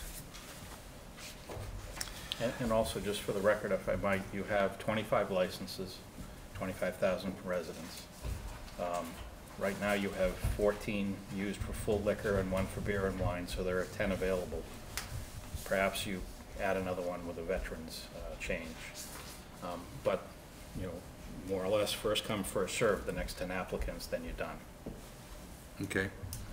So, um, for, for my own clarification, Ray, um, what you're proposing is that in order to be able to grant this request, we make a change in policy and a- actually a change in the way that we would issue the license. That's correct. And it would become a general license, and that would open the last 10 that we have. I'm not saying that's a small number, I'm just saying we have 10, potentially 11 licenses left. And once we have this provision in our policy, it would open, eh, these applicants, you know, we would be able to act on theirs. Sounds like we've got another one in the pipeline um, that's a little different. That license would be also under this change in policy. That's Is that correct? Okay. The one, the, the one thing is, just because you are authorized to issue this kind of license, there's nothing that, that Doesn't mandate prevents us. you, prevents you from saying, we think we've got enough of this kind, and, Okay. and so we're, we're gonna, um, uh, limit, uh, we're we're not gonna issue any more of these. So, uh, it, it's not like, um, You're not compelled to do you're not compelled to issue ten licenses. It's not a for- run on the bank for all, for all. for of them. all, all of these kinds of- of businesses. You can, you, you can legitimately say we- that the town's interests um, are better served by um, reserving what remains for restaurant oriented licenses or, or whatever else. You can, you can, res- you know, Yep. you can adopt that as a policy. It's not that you're gonna have, a, you know, ten applicants at your door and then you're gonna have them all used up. Kevin, was there something on your mind? I Um, stopped you before. Yeah, Sorry. no, thank you. Um, Just, uh, Ray, real quickly, in regards to the the 11A to 11P, um, obviously, it's a mass general law uh, that's put in place, and- and that would, that's, that's for all licenses that you, that you would issue, not just this That's for general all license? section twelve licenses, Okay. pouring licenses. So that's, that just across the board, there's, Yes. okay. You can, as, as it says there, you, you can modify that, those hours by making them longer. Longer. Open earlier, stay open But later. short. But eleven to eleven is, the is the minimum. Okay. Ray, what's, remind me what the definition of a club is in, in the context of a club license. What's the definition of a club? Well, like, um, uh, in general, the, the, the definition is that, is that, um, uh, it's a membership organization. So it's, it's, um, uh, So intended to be, Meadowbrook Country Club would be a club, is that right? that's right. Okay. Could these folks be a club? Well, she doesn't have members, Not yet. uh, not yet. No, but I looked. Oh. That's my question really at the root is, is it simply, simply a fixed membership that determines what a club is? Or, I'm, I'm sure it's more than that, but is that the essential element? Well, and so, the- so service is, is only to members and, and guests. So it's limited, it's not open to the general public. Right. What's the definition of a member? I signed up tonight, I'm a member for Right. tonight. I think that's a, I think this is a penetrating question, because it does change the kind of the scope of, of how this plays itself out over mm-hmm. time. Mm-hmm. This was one of the reasons the, the board a couple of years ago wrestled with it, and I think it was a pretty healthy discussion, and then we frankly struggled with a way to meet the spirit of the applicant's desire, but not throw the door open. Well, I have a real interest in, you know, promoting and supporting business in Reading. Sure. I mean, I, we want to, we want to be able to do that. Um, We obviously want to be able to do it in a, in a thoughtful way. Um, I think when we talk about the, the distribution of alcohol, it adds an extra layer of discussion, you know, um, with our group, because we have certain responsibilities there. Um, I- I have a, I have an interest in figuring out how we might be able to accommodate your, your your request.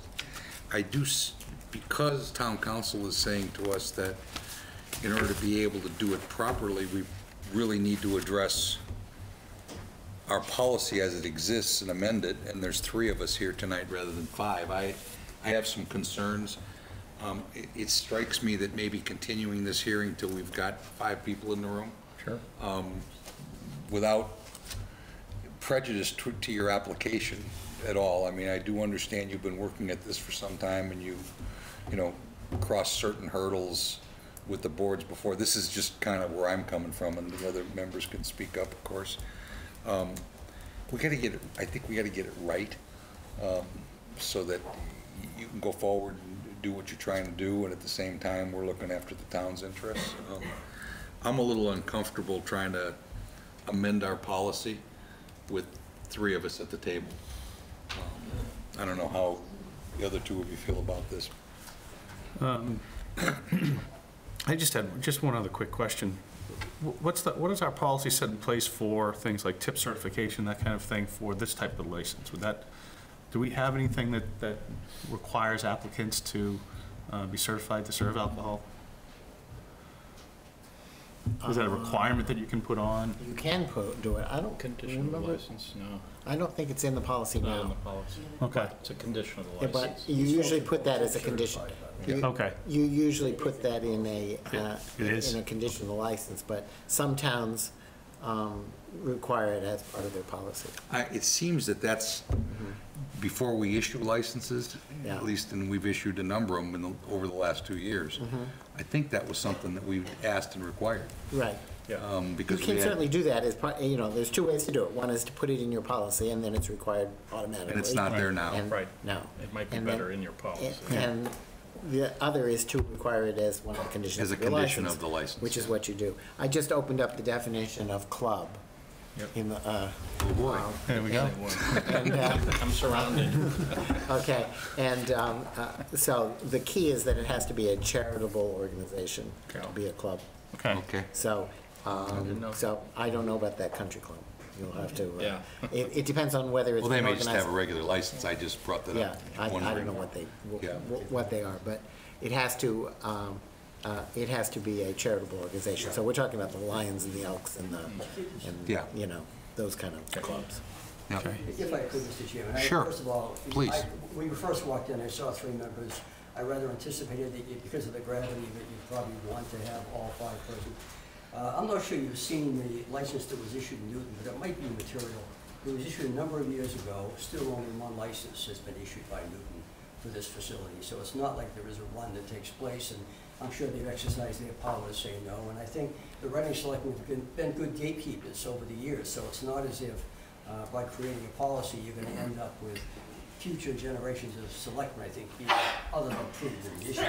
But the issue, the conditions that are imposed here uh, are that they, uh, uh, they, they limit the days that can be done, only two drinks allowed per person uh, for each two-hour class, uh, and so forth. So they've imposed restrictions that have been in place for a number of years and never changed. So Yeah. Just want to make sure they're forward with that. But I assume the days of week are voluntary, since the MGL standard says Monday through In Saturday. actuality, and, and uh, Judy can announce this, but I, I don't think it's gonna be, uh, like three or four times a week. I mean, it, what, what, how often do you think this would occur? It would be the evenings, probably like, well, it might be like three evenings. Three evenings? Yeah. That's Thursday, in the Friday, first one. Saturday. Yeah. I, I mean, I totally understand the business model and where you're headed with this. I mean, I, you know, and I'm not. I, I- I don't have any philosophical opposition to what you're talking about. I'm just, it's procedural discussion, I think, that, um, If I may. sir, Um, certainly. Newton was my precedent for this whole um, business, and when I found, when I was researching it, because they had this unusual cases, you know, they didn't have any general on-premise li- licenses, it was just restaurant. And they altered one general on-premise license for that business. It's still the same to this day, there's only one general, because they put those restrictions on it, it made it unique. Yeah. It sounds like they've chosen, I mean, and somebody mentioned it earlier, I mean, the reality is, maybe it was you, Ray, that uh, we could have 20 applications for 10 licenses and issue one. That's I right. mean, you know, that's certainly in the purview of the, um, of the, in discretion of the selectmen to do so. So I, I'm just going to reiterate my position and, you know, open it up to my friends here on each side of me. I- I would like to find a way to, you know, assist you with this petition. Um, I think we need to do it, it is a change, you know, we're talking about changing a policy with three of the five members present, and I just think we're gonna, my own opinion is that we probably need to continue the hearing for two weeks and, and bring it, I mean, I don't wanna hang you out to dry, we'll bring it back, right back up. Um, Comments from this table? I'd be interested to hear what, what uh, Barry and Dan have to say as well. And we've been waiting two years, another two weeks probably won't change the outcome. Um, And you'll get a more considered opinion of the board, I think. I, I do think, I think getting it right is, is important. Um, Kevin? Yeah, you know, I think, um, I, I I certainly uh, think it's a great idea, a great business model. I, uh, On, on par, I certainly agree with it. Uh, Unfortunately, it brings with it a policy change that probably needs to be looked at in a bigger scope than, than it is tonight. Uh, Maybe some, some further questions answered in regards to what effects those policy changes might, might have, not just on your business, but other businesses that, that are interested in applying for it. Um, You know, certainly, it's, it would be the board's purview to issue these licenses, you know, restricting it, I think the, the Newton one almost seems a little too restrictive, where they've kind of carved out um, almost a monopoly, if you will, for one, one specific business. I don't, I don't think I'd I'd be in favor of something like that. Um, Competition's always a wonderful thing. Um, But, you know, just in regards to what we're looking for tonight, you know, I- I've always, I've always believed that, you know, altering provision with the knowledge that you're going to change the entire policy down the road is probably not the best course of action. The best course of action usually is just make sure you get the entire policy correct and have it uh, meet the sense of what the applicant was looking for as well, um, rather than just a simple amendment. So um, I, I would be in favor of, um, I would certainly be in favor of, of, of having a bigger discussion in regards to this. I think it's a wonderful idea. I, I, I probably would be in favor, though, of doing it in front of the full board and maybe getting some other questions answered um, in, in that time period. And as the chairman said, uh, we meet again in two weeks, so this would be something we'd want to get right back, uh, obviously, together. Um, It wouldn't be a long period of time. We have any comments from the public? Well, I think it's time for us to, anything else you'd like to add, counsel, or? Um, Up on the uh, screen, there's the next two meetings. You can really fit it into either, either April 5th or April 19th, depending on the applicant's availability. Town Would you be available the 5th or the 19th? I'm sure, you- or- I'm sure you'd want to be available right away. Yeah, I- I, I- you know, I hate to know. disappoint by not creating a decision, one way or the other for you, but um, I think where, where I'm coming from is to entertain a motion to either, I'd say 9 o'clock on the 5th, fits in well. okay? Okay. So I'll entertain a motion to continue this hearing open um, till that time, date and time, April 5th, or to vote on it tonight, which, you know, whatever the pleasure is, I'm not really making motions from where I sit, so somebody else has got to make that decision. Uh, Move that the Board of Selectmen continue the hearing on the, struggling with the, Amending section 324. right, amending section 324 of, Here it is. Yeah, amend, uh, section 324 of the Board of Selectmen liquor license policies To April 5th. at to 9 April p.m. 5th. At 9 PM. At 9 p.m. Okay. Seconded? All those in favor? Opposed? Three oh. Yes, and um, thank you for your patience, um, and we'll take this right up as soon as we can get back together again with all of us. very much. Okay? Okay. Trey. Yeah, it's time for us to um, have a financial overview on ethics rules uh, for an override. And I think I'm going to be deferring to town counsel on this, is that right? Yes. Committee order. Okay, Call the school committee. yep. School committee and the finance committee are both in sessions. What's that? Not enough library trustees. Don't they have three? How many they Uh, need? They need six, uh, four, sorry. They need four? I think they're six. Library set? You guys are good? You don't have a quorum? Okay, good. Oh, yeah. I don't think I have this one. What's that?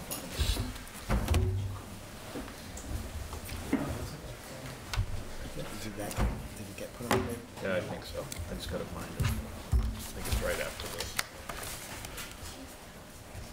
Whoops. Not there yet. Let's not, not do that yet.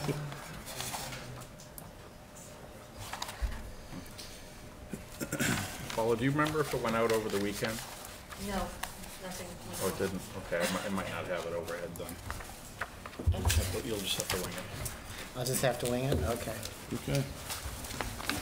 All right, Okay. so- So, um, one of the most vexing problems um, that uh, uh, uh, we see.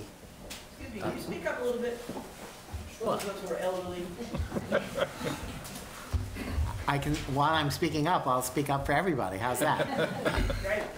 Okay, so one of the most vexing problems that we run into um, uh, in, in the course of our representing the various cities and towns is when, uh, when there's going to be a ballot question on a matter of, of importance to, um, to the town, and the various boards and committees wish to um, take a stand on that ballot question, um, and um, they uh, uh, uh, often need guidance, shall we say, as to what, um, what they can and cannot do. So uh, Bob asked me to, to sort of run through the, um, uh, uh, the basic requirements, and uh, I have drafted a, uh, uh, a handout that's, um, we're going to make available uh, On the website. on the website.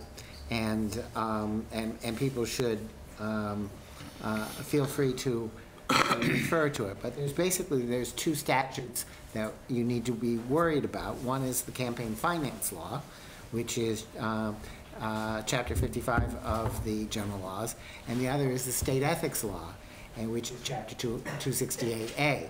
Uh, Now, all of you um, who are members of um, uh, uh, town boards have had ethics training, and uh, so you may have seen some of this before. But it turns out that those two statutes are not, you- are not especially consistent about what can and cannot be, uh, and cannot be done. And so you need to understand that if it's prohibited by either statute, that means it's prohibited, even if the other statute uh, uh, doesn't, doesn't do so. So when you go, for example, if you, if you go to the uh, Office of Campaign um, Finance and ask them for some advice, um, they'll give you advice, but they won't tell you about the ethics law. Similarly, if you go to the, to the Ethics Commission and ask for advice, they'll give you advice, but they won't tell you about the campaign finance law. So. There's a shock. Uh, um, So if you find yourself into, in a situation where you're not very sure about what you're doing, um, it's probably better to have the question directed to me through Bob, um, uh, because I'm the only person who will actually answer the question under both statutes.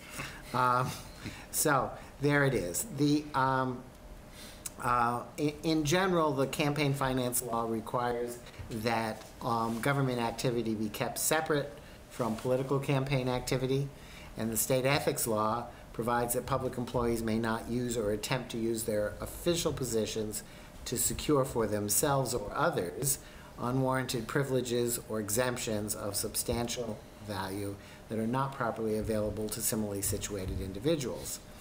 Um, So, um, um, First, let's talk about the state ethics law. Generally, the ethics law prohibits the use of your uh, public position to engage in political activity. However, the Ethics Commission has recognized that elected officials and appointed policymaking officials, um, uh, not just all officials, but just the ones that, that are policymaking, have some leeway to make statements about and take action regarding ballot questions, um, uh, notwithstanding the general prohibition. For example, elected officials may express their opinions with respect to a ballot question and are not limited to doing so outside of normal working hours. So you can do it at your school committee meeting, for example. Um, um, Appointed officials uh, may not speak about ballot ques- questions during work hours unless the question is related to the appointed official's res- uh, specific responsibilities. Um, Okay, so, uh, under the ethics law, it's clear that um, uh, other kinds of public employees may not engage in political activity related to a ballot question if it's on his or her public work time, or if they're acting within his or her official capacity, or, or while in his or her official uniform. Uh, They may not engage in political activity in a public building, except where equal access is being allowed, is being offered to um, all such political activity. And, and key is, they may not use public resources for it. And we'll get back to that in a minute. The, so that, those are under the ethics law. Under the campaign finance law, they do it the other way. They talk about things that you may do. So under the, the, um, um, uh, public officials under the campaign finance law are certainly free to discuss a ballot question, including at your meetings, um, or at special inter, uh, informational meetings of private groups. They can take positions on the ballot question, they can analyze the impact of the ballot question, they can provide copies of an analysis and or position on the ballot question to anyone who requests it. Um, They can hold in, in, an informational forum, they can participate in a, in a forum held by somebody else, they can speak to the press, they can post information on a government bullet, bulletin board or website. Uh, They can allow private groups to use a public building for, for meetings concerning a ballot question, and they can appear on cable TV. All of those things, um, the OCPF has specifically said you may do. The trick, however, is um, um, the uh, uh, use of public resources. Under the campaign finance law, public employees may not use public resources to promote or oppose the ballot question. So, um, what that, um, uh, what that means is you can't use staff time, you can't use office or other equipment, you can't use official uniforms, uh, you can't use public buildings, um, you cannot use email or other electronic resources, so if you're, you can't send out emails to, to, your- you know, your, your list, or anything else that is, that is paid for with public funds. Now, in another town, we just had a, a big brouhaha over um, uh, email lists. That is, uh, email, a list of email addresses that, that various boards had collected for various purposes, uh, and whether they could be used. Uh, We believe that those are a public resource, and, but they're also a public record. And so they can, they can be shared with a, a, a private entity, um, and they can be, uh, uh, they can be used, but they have to be made available to anybody who asks. So you can't just give it out to the people who, uh, who support your particular position. You'd have to uh, make it available to anybody who asks. Um, The, um, um, um, um, Sorry, Ray, just. Go ahead. um, On that narrow point, because Yes? How would that individual in that sitting come by those email addresses? Yeah, and just further, why are email addresses a public record? Well, they're a public record because they are, they're within the definition, um, and they're not subject to any of the, uh, any of the uh, exclusions. So when you, when you sign up for your library card and you give them your, um, uh, your email address, uh, you need, it's a public record, and some, and, and it, it can be given out. Um, one the, minute. uh, um, so, uh, how, uh, so they're So- compiled so- somewhere. Right, so my question is, if they were compiled and an individual in the town had that compilation, that Yes. could be distributed based on what you just said, because they're public records. They're public records, so they could be provided. On the other hand, if that individual took time to create such a compilation on, on using town resources or town time or town computers, Yes. is that the problem? The material's public record, but the effort is not. Well, so public record is only, is only a record that exists, so if you have to create a new record, that's using, uh, that's, that's um, not something that, that is covered under the public records law. So if somebody does it just for the purpose of this, that's using town resources. So I would say that would be prohibited. has to exist. Right, it has Okay. to already exist. It has to already exist. And the key is um, uh, that it, it has to be made available to everyone. So we have a circumstance in another town where, um, where the list was, um, was acquired at four-thirty in the afternoon on the day before the, the election. And the, um, a complaint has been lodged, that that, by doing it that way, it, it makes it not available to everyone else. And, um, a- and I, how they'll rule, who knows? But, but, um, you know, there can be some sticky questions involved in, in using email lists. Um, So, uh, Ray, I think Yes? that there was one question to this I- I point. just- Maybe as a s- very specific example. Yes? Many of us. Elaine, you need to identify yourself. Oh, Elaine Webb, um, Fairlight Chelsea. Um, As a very specific example, we sign up to receive notices from the town so that Yes. I know where the selectmen's meeting is tonight. So. puts you ahead of me. So would, um, so, what, so does that mean that there's a list that, so theoretically, you have to, must tabulate this grouping of emails somewhere that you send out? Yes, Bob? Um, Well, being next to an attorney, there's two answers. On the one hand, um, we have lists with individual emails in town hall. We've gathered those. Now, whether we ever imagine them to be public records or not, for the purpose of distributing you know, newsletter information, I'm not so sure. Um, But when people have signed up through our website to get information, that is not something we know about. We don't have those email addresses. It's a vendor that has those email addresses. So if you subscribe to get selectmen's agendas, for instance, we don't know that. Okay. Yes, Chuck? So Ray, what Chuck Robinson. Chuck Ross. Uh, I mean, I have extensive email lists that I, that I use, that's mine, though, that's, that's not, how does that work?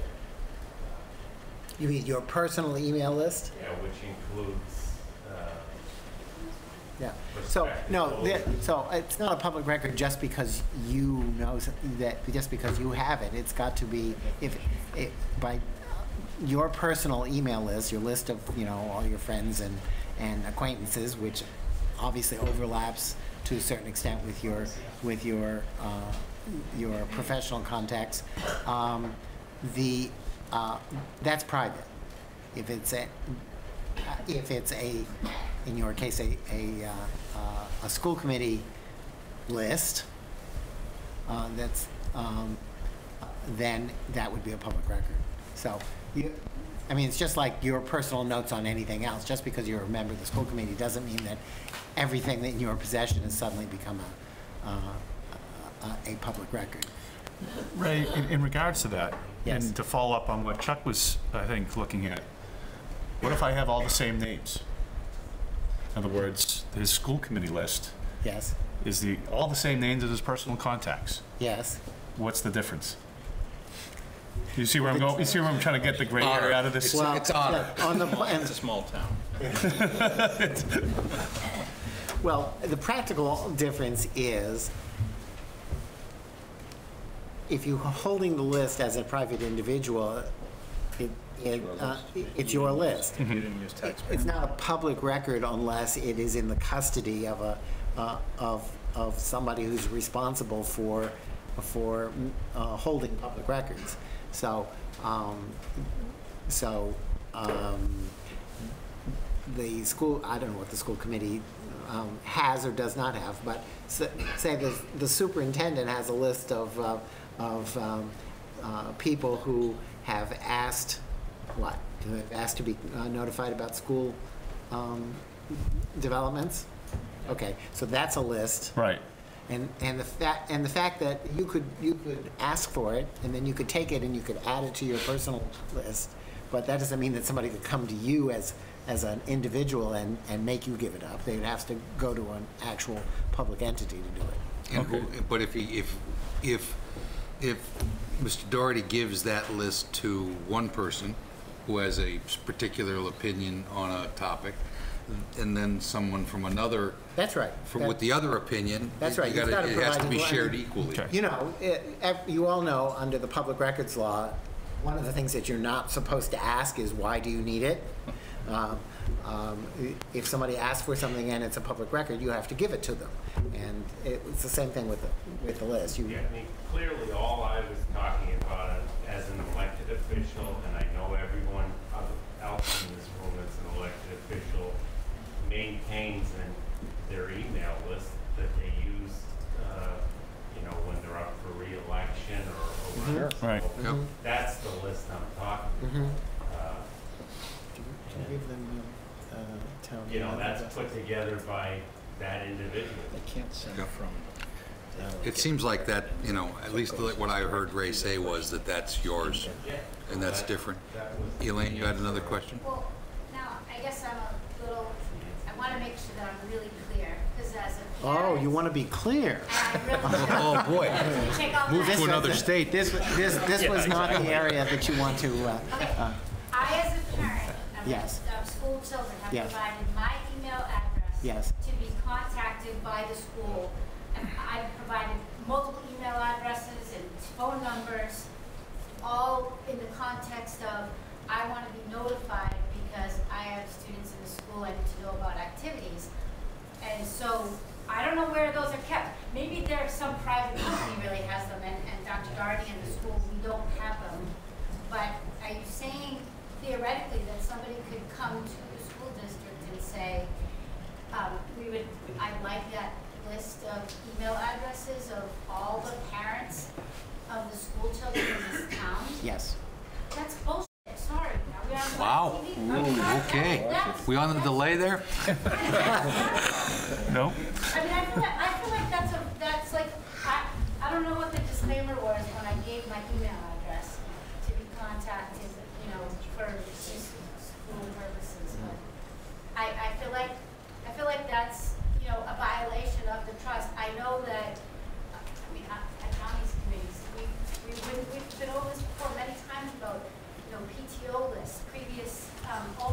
Okay, well, PTOs now, P- given. PTO, Like, that's different. PTOs are different. Okay, go, uh, this, Because they're I'm much not- more concerned about this, As this issue, right? But maybe John's gonna tell me they don't keep lists, because we don't have enough IT resources, and maybe we don't have to keep the lists there, like with Connect Ed, and now we don't have to. But just to answer, answer Elaine's question, if somebody went to this, to Dr. Doherty or to IT services and requested the same mailing list that's being used today for distribution of activities or other, that's public record. That is a public record. That record. would be delivered. Yes. Okay, Jean? Just, um, I share Mrs. Webb's concern. Hello, Jean. If not her, oh, Jean Browski, sorry. Good. Still, Um, still Jean. I, I share your concern, not your language. And but it sounded like there was a little bit of a, if our email lists, and I agree, I get my kids report cards via email.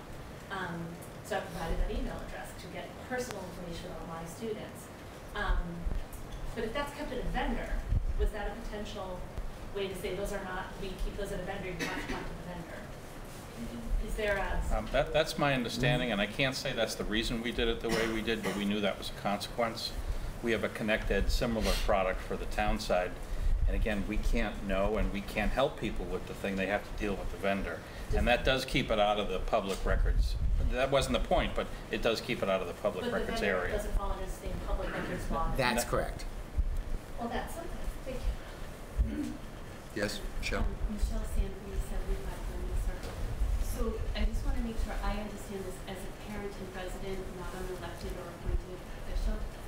If I went to Dr. Doherty and asked him for a list of all the parents in the Reading Public School System, he could provide that because PTOs can't do that. Like, we can't get lists of the kids. We don't release PTOs. Yeah, and we don't, but even parents can't get lists of who their children are in class with. This So is it's just kind of disturbing that a It's list not like that kids could in be particular. Well, the class list is different because that's a violation of their, their public record, their child's educational records. Right. So, so understand that, that there are separate laws that protect students' privacy. Okay. Okay, so, so we're not talking about their addresses, their physical addresses, which can be protected. And we're not talking about any school-related information, like who's in what class or anything like that. We're just talking about email addresses, The parents' email address. uh, parents' email Okay. addresses. All right, thank you.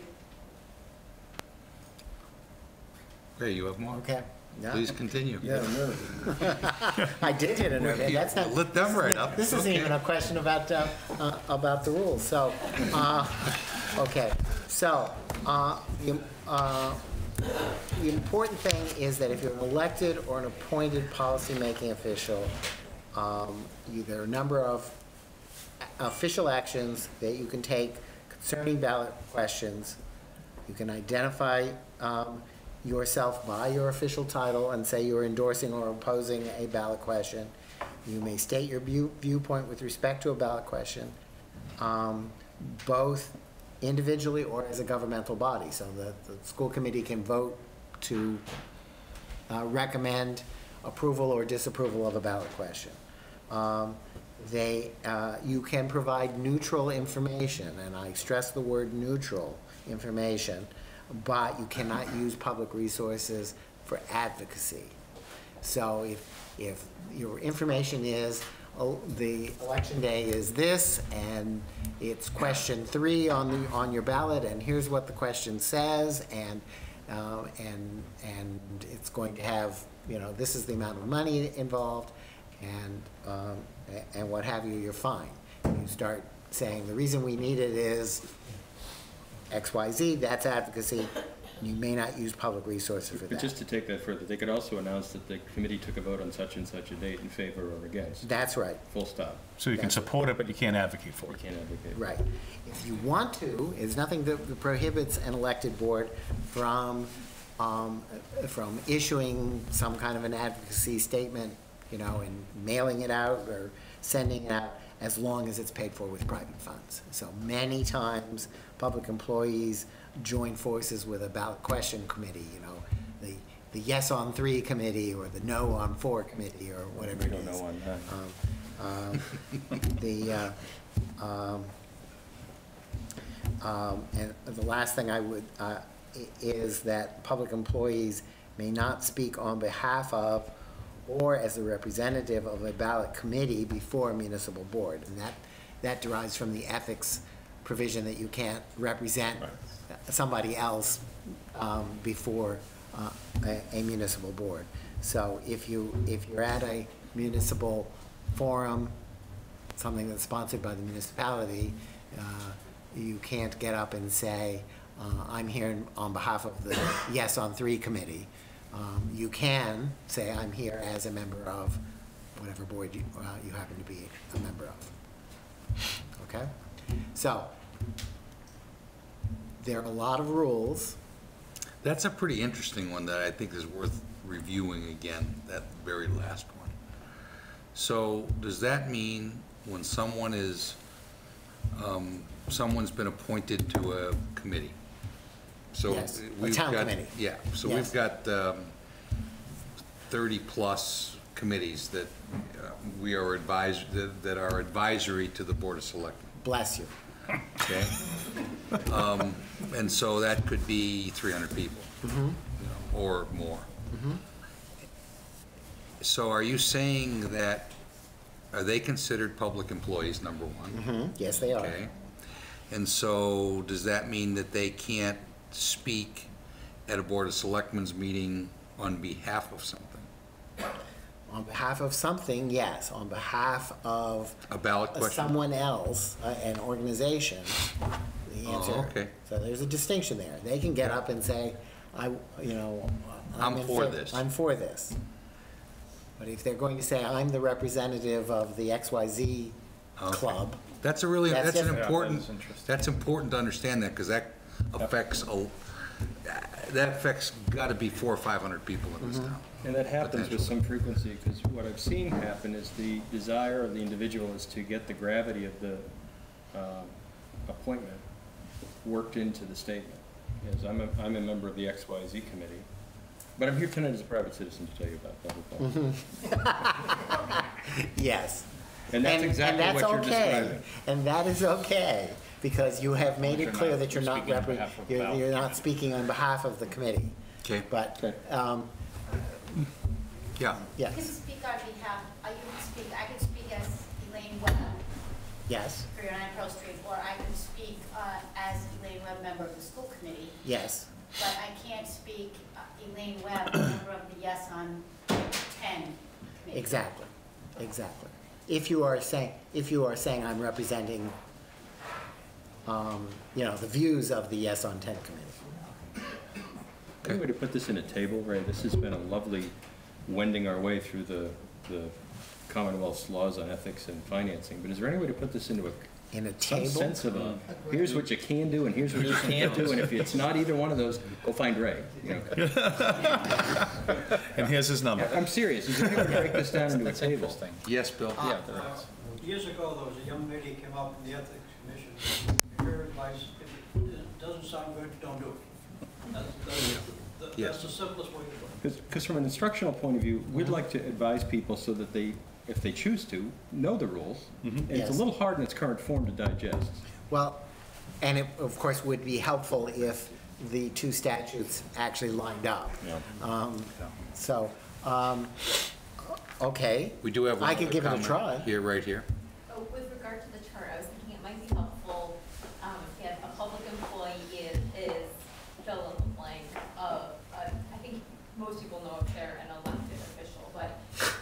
I would hope so. Most days. We're gonna assume that, yes. Definitions. Okay. Definitions. yeah. Policy making committee is, and these are the rules that apply to each, that could be useful. It sounds like they're, I, I It sounds like it's across the board, isn't it? I think it's everybody. Yeah, I I have a question. What's a policy board? Or what isn't a policy board? Finance committee a policy board? Yes. That one's easy. Conservation? Yes. I can't think of any that aren't. Retirement? Well, climate advisory committee probably don't make policies. They probably don't. Uh, But the, the, the, the term policymaking appointed official is intended to get at the superintendent of schools. Yeah. The, um, the town manager. Yeah. um, um, And, um, uh, um, who, you know, have a, have a, uh, who are appointed, they're not a member of a board, but they uh, clearly have a policymaking role. Um, uh, I've never seen a list of, of who is or who is not. um, The, um, uh, but, um,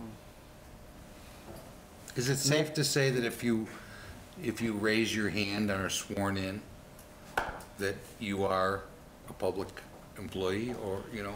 oh, well, now, public employee is a, is a, is another thing. Is, uh, a public employee is anybody who is providing services to the town, whether paid or unpaid.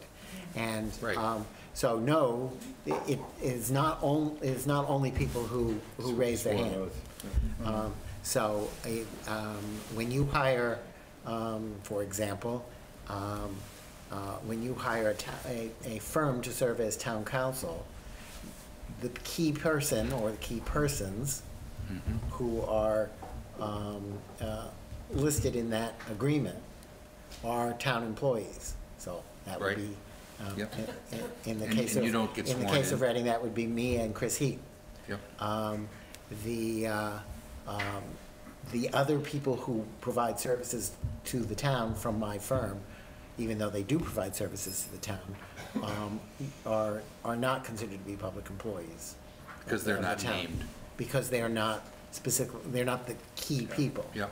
Sometimes you, a lot of vendors, for example, you don't, you don't care who the, who provides the service at all. Right. But when you hire, say, an engineering consultant, you, you may be saying, I want, you know, John It Jones does and certainly Mary include Smith. all of those people who are sworn into committees, though, whether Everybody elected who or is sworn appointed. in- sworn So I into a think committee. that's really, I Yes. think that's an important distinction. If you're a person that's been sworn in, whether elected or appointed, Mhm. everything we're talking about applies to you. True? Mhm, True. Okay. And of course, if you're drawing a salary. Yeah, we're looking for double our salary. Always. Yes. If I could,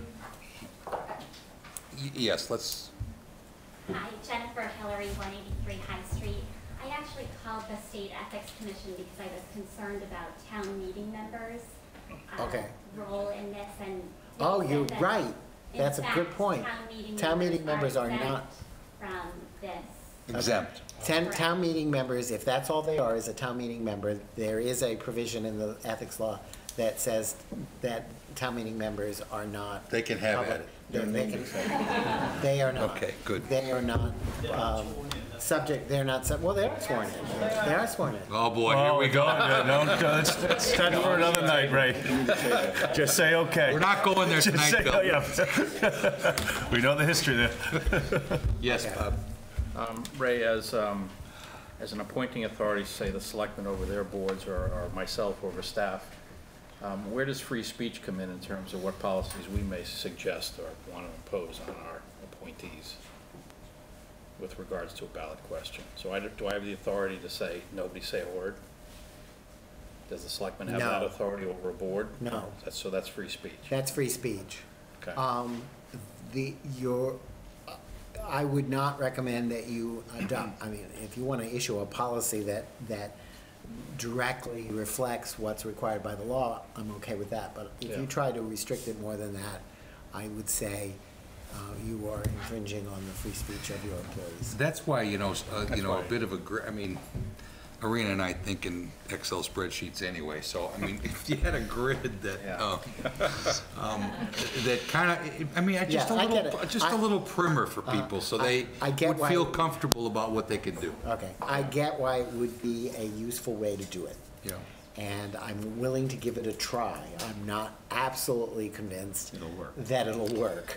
But, this sounds like there'd be a lot of gray area exemption. We have That's almost- right, You have that's almost the worst-case scenario now, where we've given some sense of information out, but I, I would bet Yeah. that we couldn't, as a collective body, restate what Ray just told us. And so I feel that we've given, we've either given license to do anything, or created, instilled fear that we can't do anything, or something in between. okay, so. Bill, you were next. Yeah, the uh, campaign finance law has a little booklet on that, if you want to call it. They have a what? They have a booklet on procedures. Yeah, looking for one-page. I have Yes. one of my own, my pro home. Good. and I have it. Yes. Yes, Elaine? Yeah, so, so in, in this little controversy that we were talking about, the Office of Campaign Finance said, uh, said, um, said to us, we can't give out, um, the email addresses at all. And when we said, yes, but they're public records, and they said, oh, we didn't really, we didn't think of that. So, uh, so, uh, Oh, boy. sometimes, you know, the, the advice they, that they give out is not as good as you would like. Um, So, uh, I'm not sure what you wanted to do with I'll work with this. you to try to but We'll try to make change it, it from English to math, basically. we'll try to change it from English to math. All right, we'll try. I Kind of like that, actually. Yes, Linda? Okay. Um, Linda Snow Dockser, Beaver Road. Um, I have a couple of questions. Um, one is, I'm going back to the question of these lists. Yes? I feel that there is an implicit agreement between the school, the schools and our parents that we are not giving their numbers, their emails, addresses to vendors or to outsiders. So what I'm hearing you say is that we're in an awkward position unless we talk about another policy, and is there a way to protect those email addresses that people have entrusted to us? Because we've had questions about privacy and student information, and I hear you, that's not going out. But people are also selective as to who they give their email addresses to, and they're in a bind with the schools. If they want to hear emergencies, they want to hear report cards, they want to hear the information that we are committing to give them. But if someone can ask for their email addresses and we cannot ask why, then those email addresses are not protected by us. I- I'm really, I would use language publicly, Sorry. right? Okay, we're gonna, we'll keep it toned down, all right? I'll edit the tapes, Well, don't worry. People choose what they want to be, um, they want to get involved with politically, and that's their right. If we give their email addresses out, then we are, I think that we are um, not living up to that trust. So uh, that's, that's one. Then I also want to, uh, I give you two of my questions. I Okay. want to rewind to what you said about the board can vote to support or not support a ballot question, but we can't advocate. So it sounds to me like we can vote, but we can't say why we support it. Oh, you because can, that sure, would be sure, advocating. sure you can at a meeting, absolutely, at a meeting. But that's in a pub, that's in a, um, a publicly owned building. But that's all right, because it's a part of a meeting that everybody has access to it, Okay, that's the key, okay. okay? Dr. Doherty? I may, I I have a question that may clarify, I think, the concern that I've heard a couple of times. I don't know if I can generate a list Ah, from the third-party vendor that the request could be made. okay. Nice call, don't think I Johnny, nice call. capability. Absence of Okay. So if the, if the information, first of all, you're, the, the state, the public records law does not require you to generate a list. So if there is no list, then, then you're not required to make a list.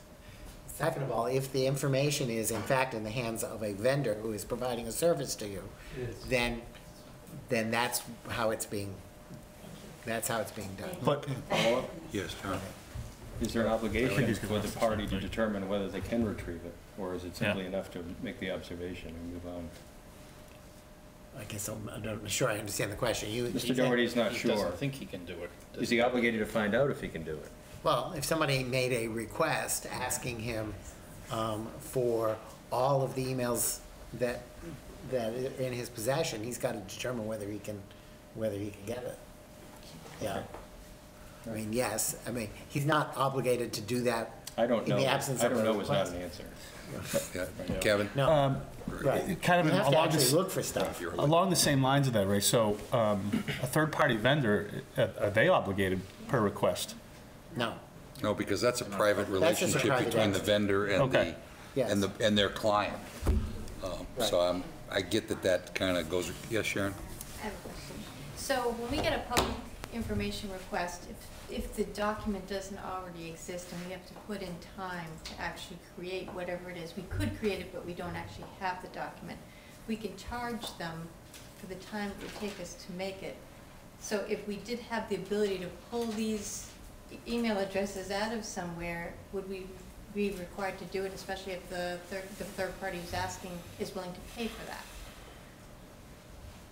You know, if So I the said it's gonna general cost rule- me three hundred dollars to do that, you know, Uh-huh. and they're willing to pay it, and Okay, it's so, not so. paying it. So this is where we have a public records law, you know, that was written Before electronics. before electronics, and so, you know, it's a little, uh, it's a little weird. If you have a request that says, I want a list, and the list doesn't exist, you don't have to create it. But if you say, I want all the emails, then, and, and you have them wherever you have them, you have to pull them in, compile them, and, and if it costs a lot of money, you can, you can charge for it. So the list may not exist, but if the request is for the data, Right. you're obligated to get the data. That's You may right. charge for it. You may charge for it. So the data in our financial system is public, even if it's not organized in a fashion someone wants it. Right.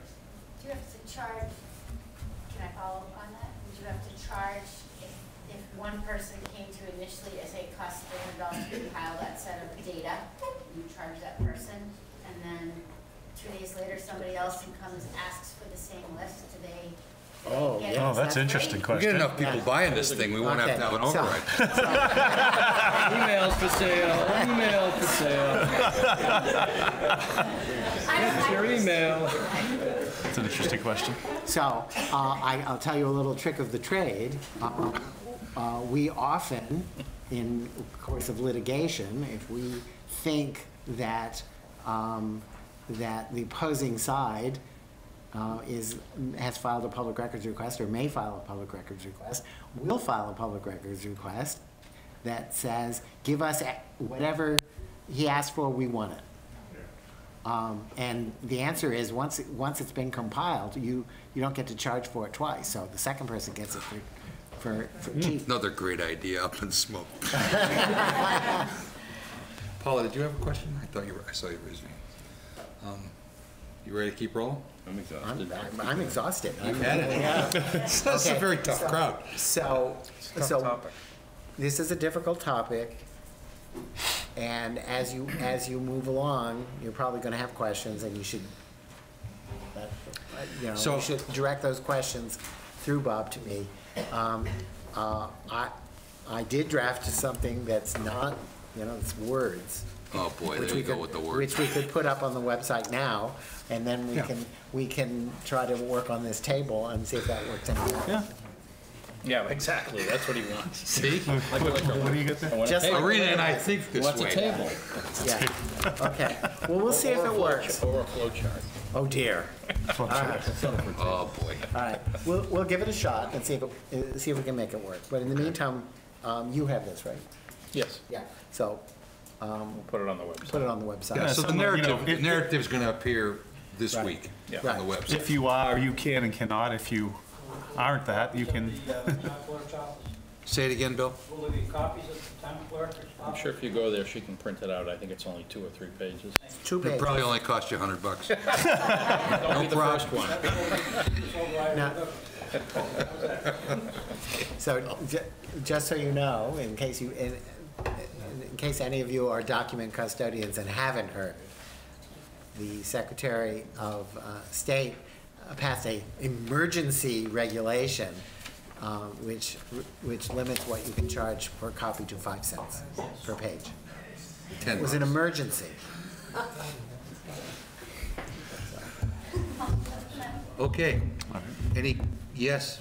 I- Another scenario, if, I- if uh, you're going door to door to talk to people about what's going on in your community, Hmm. you're gonna introduce yourself and you're part of the, let's just say, for example, Yes for Reading, Ask him. Can you introduce yourself as, um, if you are a, uh, on a appointed board or elected official? Sure. Can you introduce yourself as that elected official? Sure. Hmm, Okay. Sure. So I could say, all right. You're not spending any, any funds. No. So is it, um, You're just saying who you are. You're just saying who you are. right, That's I okay. could say Elaine Webb, or I could say Elaine Webb on the school committee, or You- Paul Perry on the finance committee. You're not at a meeting. that's, o- you're- that's Yes, okay. That'd be weird if you said you. Yeah. Well, weird things have happened. Go under a pen name. By yourself, both as a member of a, of a appointed or elected committee and as a member of a ballot committee. Right, as long as you're not charging your mileage back to the school Right. committee. If it doesn't cost money, If it doesn't and cost you're not at money, a you're meeting, good. you're, I think you're free. Yeah. Uh, We got that right? I mean, is that right? You could be a member of a ballot, uh, that, because that question, what you just asked, didn't seem like what we heard Well, up No, till the difference now. was, she's talking about going door to He was door describing and it at a saying, public meeting. I'm, Oh, uh, oh, okay, in a public meeting. I I'm got it. so-and-so, and I'm a member of the school committee, and I'm also on the Yes for, on Three committee.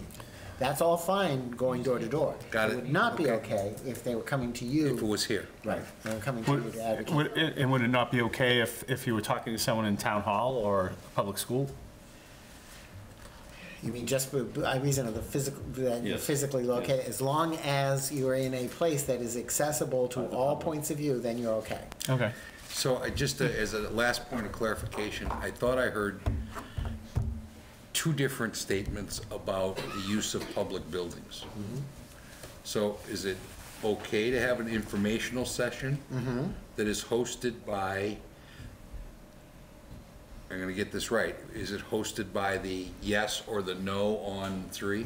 As long as, as long as you allow. So yes or Yeah, no yeah. could, Could, could, either one of them could use public facilities as long as you make it available to both. So what would the position be, you know, I- I've been struck with the- an obligation that, that I think the Board of Selectmen have and possibly other elected boards, um, to appear in public places for purposes of information. That's okay. Absolutely. Okay, good. And the Board of Selectmen could sponsor an information. I'll get back to you, Gene. They Mark. could sponsor information, and they could also, um, Vocalize. they could also state their, they, they could take a position. And might, and who decides what's neutral information? Check the.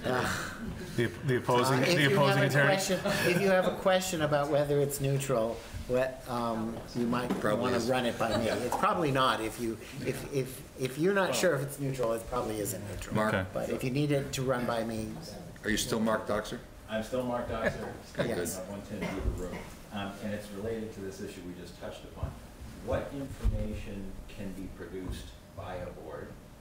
Does it have to be, let's say they take a position, mhm, you know, we're we're for this, we're against this. What information can then be uh, made available? That's question one. Question two is, how can it then be distributed? Or, what I heard earlier, and what I think I read, is that um, if people ask for it, they can obtain it. mhm. And that's different from kind of. pushing it out, Pushing it out. that's correct. That's different. If if you have, i- i- if your committee or your staff has, has created a document that says, we, we uh, are in favor of question three, and, um, and here are the six reasons why it- the town really needs to support this, that's all fine. Um, and you can give it out to somebody who, um, who asks for it. Once you, once you decide you're going to disseminate it to a group, then that's what you, that, that's where you need to make sure that no public funds are involved. And is the website considered uh, use of public funds? If, it depends on, on where it is on the website. If it's in a place that is accessible to anybody, then it's okay. Um, So if you have a, I don't know what you have on your website. Do you have a place where, Everything is public. Meeting It's hard to find sometimes, but. no, but, but I don't, I, I just mean, if I'm a private There is organization, that. There is would that you issue. allow them? Um, That's a gray area, honestly. Okay, There, so- there are some. So if you're not allowing, um, i- if, if the website is not available to everybody, then it's not, then it can't be used for that purpose. But it could be used for that purpose. Every, if it everyone in was- the public, you mean? Yeah, everybody in the public, right. So in the capacity Oh, of, say, okay. of Committee A, if they posted something, a member of the general public doesn't have a means to post something on Reading's website. That's correct. Okay. Therefore, you cannot do it. But some, some towns do have a, you know, A a public, a uh, public bulletin forum. board, yeah, some or kind of, yeah. Bulletin board or something. Bill, you had, a que- you had one more comment or question? Just an observation, the last uh, ballot question, there was stuff sent home through the PTAs at the Killam School. That- That was, at that time, it was not legal. They were Uh, using, uh, public uh, mimeograph and everything else to do it. Okay, well, if they were using public mimeographing, uh, the. 1970. Mimeographing. That was an old ballot question. I hope it But was. You get a fresh stack of Mimeo paper. Clearly, if they're, if they're creating a hand, if they're creating a handout and then disseminating it and they're, and they're printing it using, you know, town printers and whatever, that's a resource, you can't do it. Coming back, Quick one. And, um, uh, yes, it is a common, um, uh, it is a common practice that is frowned upon, to send uh, something home in, with kids, you know, um, in their backpacks. Um, The, uh, um, your, um, could the PTA, PTO do it? Probably the PTO could do it as long as it was completely separate. But I don't know that you allow the PTO to, to, to have access to kids like that. So, I, I, in general, I, there may be a fine line that you could squeeze by, but in general, I think it's, it, you're well advised to leave the kids out of it. If I might, John? Yes. Um, a, an elected or appointed board has approached staff or me and has uh, a position they wish to take on, on a ballot question with Okay. clearly what is not neutral information. And they wish me to put it in the packet for a meeting. Is that the use of public resources, or is that okay? They want to, so they want to, So they want to put yes on four, yeah, and they want to put a lot of statements that any reasonable person would say is not the full story. Put it in. okay. And they And- want to put it as part of a meeting, to re, to be part of a public record. And I have to use public resources to produce that packet. But it, it- It's their meeting? or- it's the. Yeah, it's, it's a committee, elected or appointed's meeting. They've decided to take a position. Okay, so they've, al- they've already decided to take a Well, they're position? going to that This is night. the point of, the point of this Yeah. thing is to decide whether Yeah. to take a position. I Yeah. think that's all probably okay. Okay, I thought so, but I, I I thought I think that's better ask. probably okay.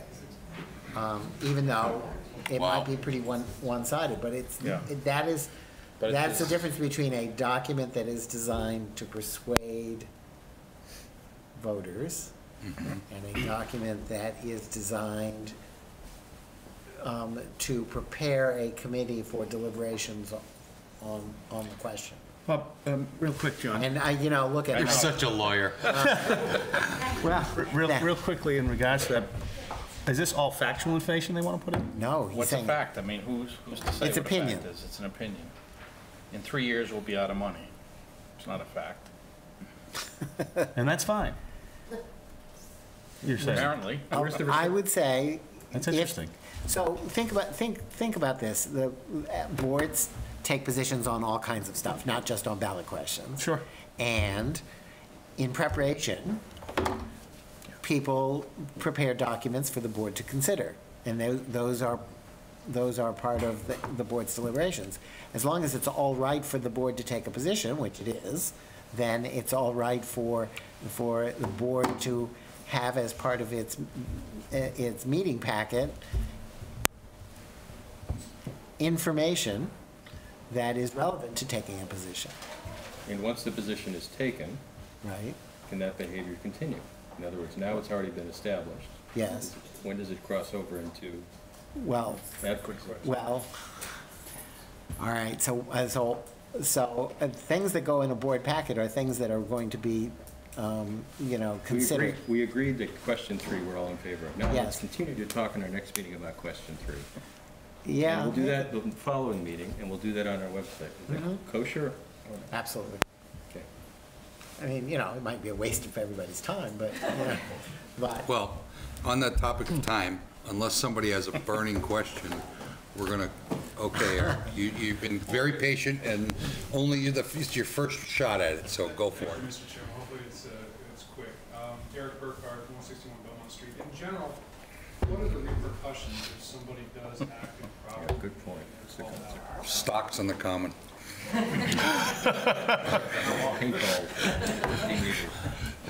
in general, if, if somebody engages in behavior that is in violation of the campaign finance law, someone can file a complaint with the Office of uh, Campaign Finance. um, And in due course, and by that I mean several months later, the, they, the, the office will issue a ruling and potentially can impose a penalty, although they rarely do. Um, um, I have never heard of a situation where the Office of Campaign Finance issued a ruling prior to the election in question. So, um, so it- the enforcement is a bit toothless in that regard. Uh, The state ethics law uh, is similar. If you, somebody hasn't violated the state ethics law, anyone can, um, can uh, file a complaint with the, uh, with the State Ethics Commission, and um, uh, they will investigate. Again, it will be a long time. They, their violations have bigger numbers associated with them. Some of them are in fact criminal violations. Um, I, I, I've never heard of anybody being criminally prosecuted for a violation, but it might be just my inattention, maybe there has been somebody out there. Um, But, you know, these are, these are provisions that do carry penalties. um, um, And, you know, a certain amount of public shaming involved. Stocks in the common. Stocks in the common is not bad. Yeah, that works, huh? Yep. Um, anything else that's burning? This is, uh, look, we're gonna, you're gonna be able to see the narrative that, um, that town counsel has put together on the, um, on the website. Uh, I know he's gonna try to accommodate the twisted minds of Arena and Halsey here and try to build a little grid, um, that lets us follow it simply. Um, and then, don't hesitate to send one of us a question if you have that. I mean, that- and we'll see what we can figure out. We'll, we'll work with you on that. So I think it's time for us to move on to the next section. Um, Calendar. If you want to go through uh, animal control Oh, that's a good bylaw, idea. while town Yeah. council is there. Okay, yeah. You might So wanna you can take go two- home, right? Take two minutes to vent the room. All right, we're gonna take two minutes, yep. You guys want to close up your meetings? Okay. So moved. Describing the limits. Okay. That's right. Yes, as as always, the legal advice. They don't seem that you so interested in the animal control thing, you know? You're, I think it's very interesting that. Oh, yeah. Xfinity keeps trying to steal my. Just so I. As soon as, Yes, you- as soon as you remember. said was Bryce. Just then Oh, as soon as you said it too, Kevin. go to, uh, click on the Oh, there he wireless. goes. Click on wireless. Open network preferences. Yeah. That's one of those, Oh, my Tommy, God. tell me you got that moment. Then That uh, go to advanced. That was And then there'll be a list of all the things you've learned already. Find Xfinity in that list. Yeah.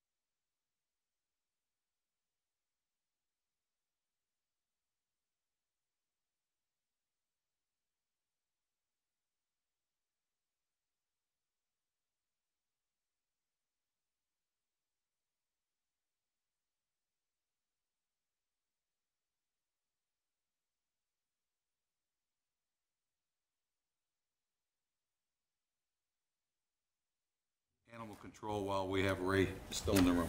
Okay. All right, so in 2012, the Commonwealth uh, um, revised the laws governing the licensing and controlling, control of dogs and kennels. Um, And um, in particular, the revised laws require animal control officers to have training. They created four different set, uh, categories of kennel licenses. They require health certificates for dogs and cats that are bought or sold in Massachusetts.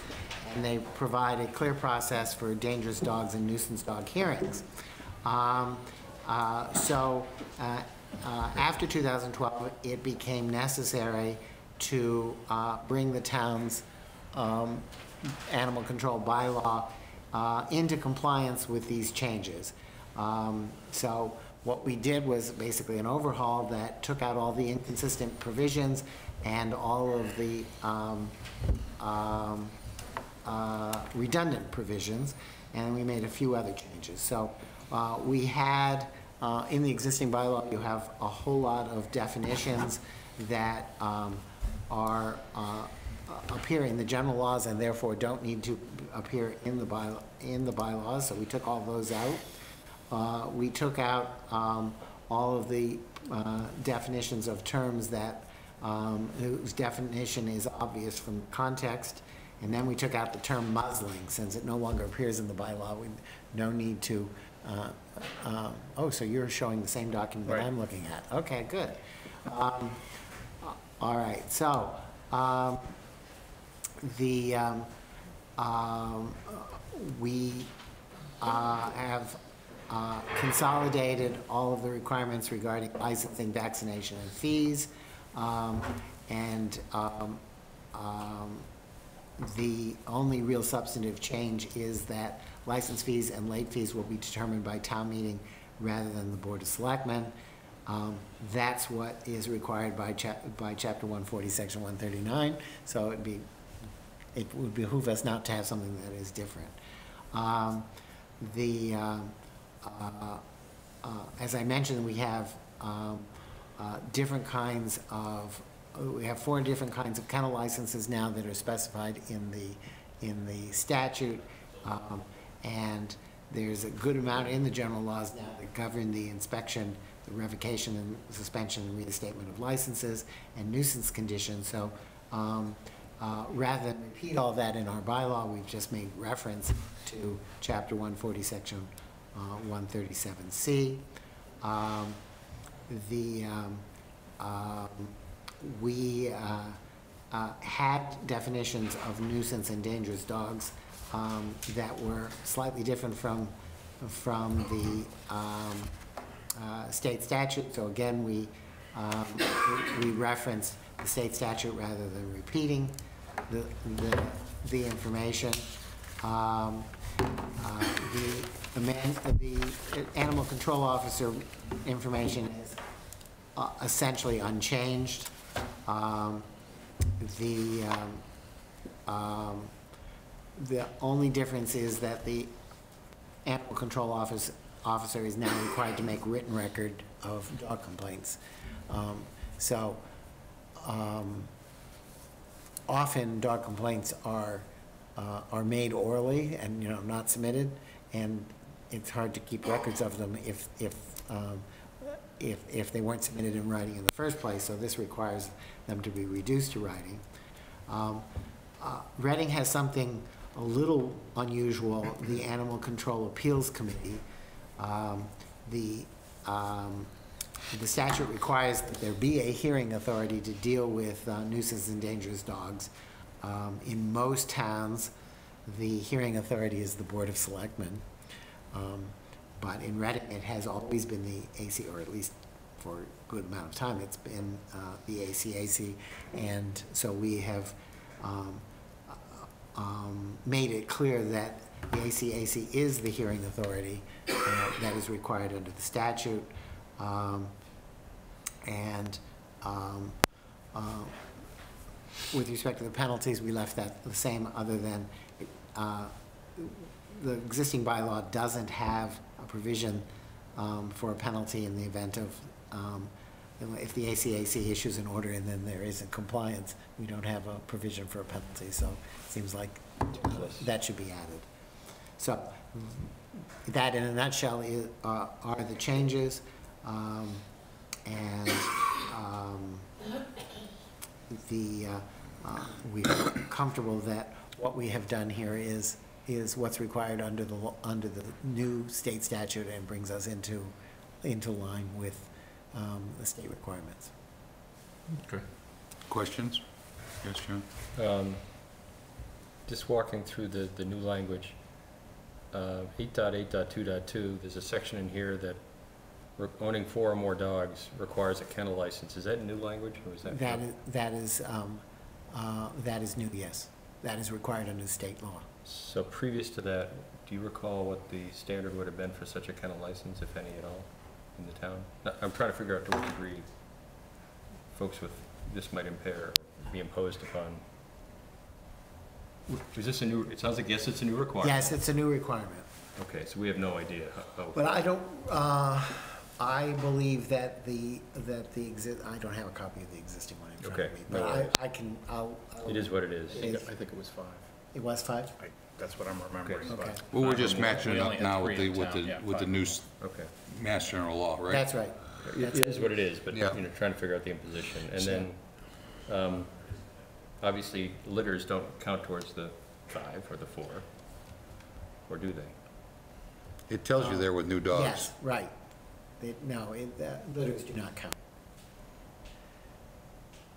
Okay. It says you have thirty days to You have report. thirty days. After 30 days. After thirty days, then they start to count. No, uh, six months or older. Well, I don't think Shall so. It's right there. Shall current vaccination obtained. a. Oh, I see. No, that kind of license, you That's show just- proof of current vaccination and obtain a tag. But that, but, At six As months, you far- need a tag, but at- you're, after but thirty you're- days, you gotta, yes. Now, after thirty days, you gotta vaccinate them. You gotta get a kennel license. that's a kennel licensee. Oh, I see. If you- If you want one, you gotta get Yeah. one, because you're over the four Right. or more. I statute. got you. Right. That's surprising state. It is, Mhm. because it's, it's not that unusual, it's just a nit, I- maybe it never gets enforced. to say that. Yeah, I'm sure it doesn't. Yeah. Um, And just for history, I I don't know if the ACAC has ever, how frequently do they meet? Are they an advisory committee to us? No, No. Um, How are they have met, But I appointed? couldn't tell you the last time, not since I've been. Are they appointed by somebody? You, you, yeah. there's But three they're not an members. advisory committee to us? no, they make the decisions. They're decisions. independent, Okay, so we appoint them, Yes, and they're on autopilot. but we don't think that we actually have one at the moment. Um, you do have You one, do right, Paul, Used to do, they met, I think, maybe twice in, in the history? you know, ten years. so they, Oh, they wow. only, they only need to meet if. If there's a So complaint. they There's a are, complaint is the of an committee injury also to a alive? dog. have these things. I, I know there's no. Okay, That's fine, I have no So- other questions. You know, all right. and I, and, and you're well advised to have somebody else make those decisions. because Oh, they- Oh, yeah. absolutely, I love that. That guy over there is gonna do it. Yeah, So, so, exactly. there is nothing more contentious than Yeah, dog here. there you go, Bill. so Ray, is it, is it safe to say that this entire new Watch out for um, those cat people. bylaw was generally created to get us in compliance with state law? In other words, And the also- changes that are made to what we have are made with that intention. That, that was the motivating factor. While we were at it, we cleaned up the language and, and, um, and, uh, um, eliminated redundancies and a few Good. other things. Okay. But, but basically, um, the goal was to, was to bring it into compliance with the new standard. And we reference that uh, throughout the entire new document? Yes. Yeah, okay. This is likely to be one of those topics that is very pro forma, but takes a lot of time to get people through, just because of the subject matter and it's a change. Right up there with chickens and bees. Probably, I think it's gonna be higher. yeah. This will be, a- this will be, I, I would be shocked if this wasn't a long Right. If for no other- discussion right. during town meeting. If for no other reason than to gain confidence that this isn't a- a radical change and there isn't anything of the sort I just described, mm-hmm. and that alone will be a twenty-minute discussion. It should be Minimum. four, should it be five dogs in a kennel? So I think it'd be helpful to have a quick summary to kind of lead out, lead the charge. Here's what it says, here are the key changes. Questions? Yeah, excuse me, um, Yes. there's a, sum- there's a summary in the background of I town saw meeting, that. but, um, what, what there isn't, and I can't really imagine how you produce it, is what we call the translation guide for things like zoning and the charter. here's the old one, here's the new one, and here's what changed. Yeah, I That would wasn't- be impossible to do. Right, I wasn't suggesting a translation guide, more leading off the questions and trying to proactively answer them. Hold our questions till I get through this. Okay, Yeah. all right. I'll leave it as simple as, you know, the question I just asked, was, was all this done to bring us into Right. compliance? And Yep. what else was done to it? Okay, we wanted, to- we wanted to clarify some things, get rid of some redundancies, so. This could be that um, you're the best person to present this at town meeting, not me. Okay. I'm happy to do it. Do you want I, to I go? I actually think that's a really Probably wise makes a lot of idea. sense. Okay, Yeah, I- I Yeah. do too. Yep. all right. I'm happy to do it and, and uh, with a, s- with a special reference on, to uh, the substantive changes. Yep. Yeah. Um, Any other discussion, comment, questions for Ray? Um, Then, Mr. Acting Secretary, I would entertain a motion. Sure, move that the Board of Selectmen recommend the subject matter of Article 7 of the 2016 annual town meeting warrant. Seconded. Any discussion? All those in favor? Opposed? Three zero? Okay. It was a county fee. Sorry? It was a county fee originally, the dog license fee. Oh, really? Yeah, and then went on to law. Water and sewer rates. Yep. Well, as with everything that has to do with the county. um, All right, We are, um, I'm done. thank you. Thanks, Ray. Thanks, you, Ray. Thanks, You're Ray, welcome. on We'll see many you again. fronts. We'll see you Thank again. you very Thank you. much. Take care. Um, So, look, I- we need to open a hearing, um, it being a little past time, but a hearing to set water, sewer, and storm rates. The, uh, Get the uh, meeting notice, sorry. This uh, temporary labor you got here isn't doing the job. Okay, please take notice, to the inhabitants of the town of Reading, please take notice that the Board of Selectmen of the town of Reading will hold a public hearing on March 22nd, 2016, in the Senior Center, Great Room, 49 Pleasant Street, Reading, Massachusetts, on uh, setting the FY17 water, sewer, and storm water rates. A copy of the proposed document regarding this topic is available in the town manager's office, 16 Lowell Street, Reading, Mass, Monday, Wednesday, Thursday from 7:30 a.m. to 5:30 p.m., Tuesday from 7:30 a.m. to 7 p.m., and is attached on the hearing notice on the website at www.readingmass.gov. All interested parties are inte- invited to attend the hearing or may submit comments in writing or by email prior to 6 p.m. on March 22, 2016, to townmanager@ci.reading.mass.us. Thank you. Uh, Bob, would you like to kick us off? Sure. Um, Just as background, uh, this material is identical to what the full board saw in January. Um, The advantage in setting rates tonight is only because then we can produce more information for town meeting. There's no requirement otherwise. Yep. In the past, the board has set rates as late as the summer. But just for transparency at town meeting, it's, it's an advantage. This is a presentation we've done for several years, so I'll go pretty fast. There's four things that affect water and sewer rates. There's local costs, there's the MWRA charge, which for sewer is a dominant factor. There's some other tiny factors, and then there's the use of reserves. Uh, Local costs, as it suggests, uh, we have a lot of control over those, not full, but pretty well.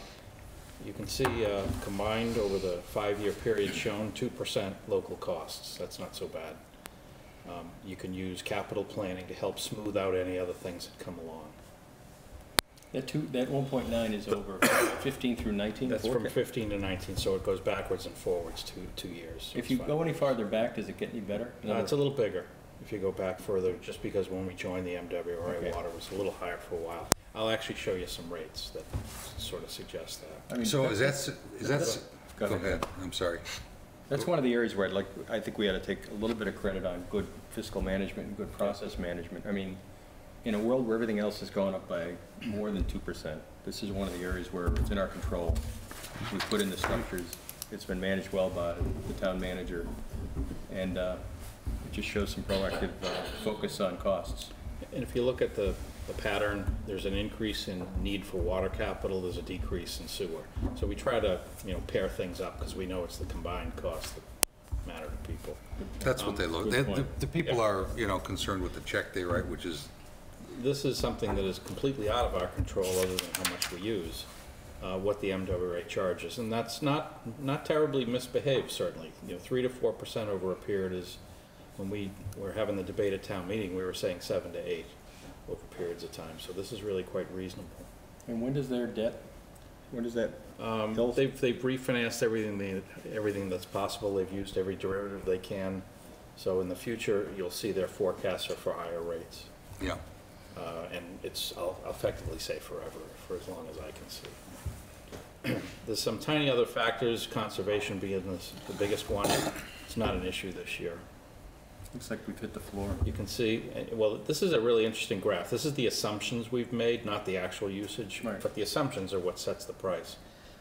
We had to really get massively adjust here, and that's where you saw a ten percent rate increase, just because of this. Right. But if you look at this pattern, remember, we've added. So four- conservation has cost us money. Absolutely, Yeah. well, co- and we've added four percent of Or households. rates, not Yeah, cost we've, you we've money. added a thousand residents during the last five years to get past twenty-five. But we're still seeing the total use of water in the community slow down. So this slowdown here could be entirely due to the fact that this is another thousand residents. And maybe it really Right. was a steeper reduction, we don't know yet. Hmm. Interesting. Um, That is a very interesting, Yeah, and, and Reading is, was already one of the lowest uses in the community and, and the Commonwealth, and we don't really know what the floor is. Um, nothing really material here. We did bump up for tax liens last year, uh, and we saw really no reason to, so we're having a slight decrease. That's, that's really not material. The reserves? Yeah, and in terms of you eliminating the early uh, discount, um, we've received, uh, well, I've received no complaints. I'm sure the collectors have received some comments. Um, And we've seen no material change in payment patterns other than on the last day, it's not a mad rush, which was the whole point. Yeah. I've heard one from my neighbor. Okay. But, you know, I mean, to back, could you back up to that for a second? Yeah, whoops. I think it's kind of important to note, you don't have to go all the way back there, but that whole discount thing, we were bumping it up. Yeah. Yeah. To up give you a 10%, discount. To give you down ten percent, Yeah, yeah. I mean, It made sense at the time. I wouldn't, you know, Well, it's a very common practice. Pretty sure that's what GAP does to get me a forty percent discount. right. I'm glad that we, you know, treated our citizens like adults. I, I agree with you. Um, Um, We have exceptionally healthy uh, reserves. If, you know, this- if this were free cash, uh, we'd be embarrassed. It'd be like 20 million of free cash. Um, Water and sewer reach around 3 million. You'll see some of that is needed, but you have almost $2 million of excess. Um, And then stormwater, I'll get to later, is also at a large reserve. And there- and there's some reasons for that. If you remember, once it was capital project we couldn't complete, and then we, in the next And year. that's really what spent this a is lot all of around, reserves. isn't it? Yeah. It's about capital. so Yeah. are we that worried about having an excess if you know you got capital in the future, one-time project? Well, um, I'm suggesting, and you'll see why, using eight hundred thousand in water, because we have a lot of infrastructure work that has to be done. And the rates would be exorbitant, as you'll see, without Correct. using reserves. Um, But just so the board's aware, I, I think I discussed this in January, we definitely pushed capital out for both water and sewer, especially sewer.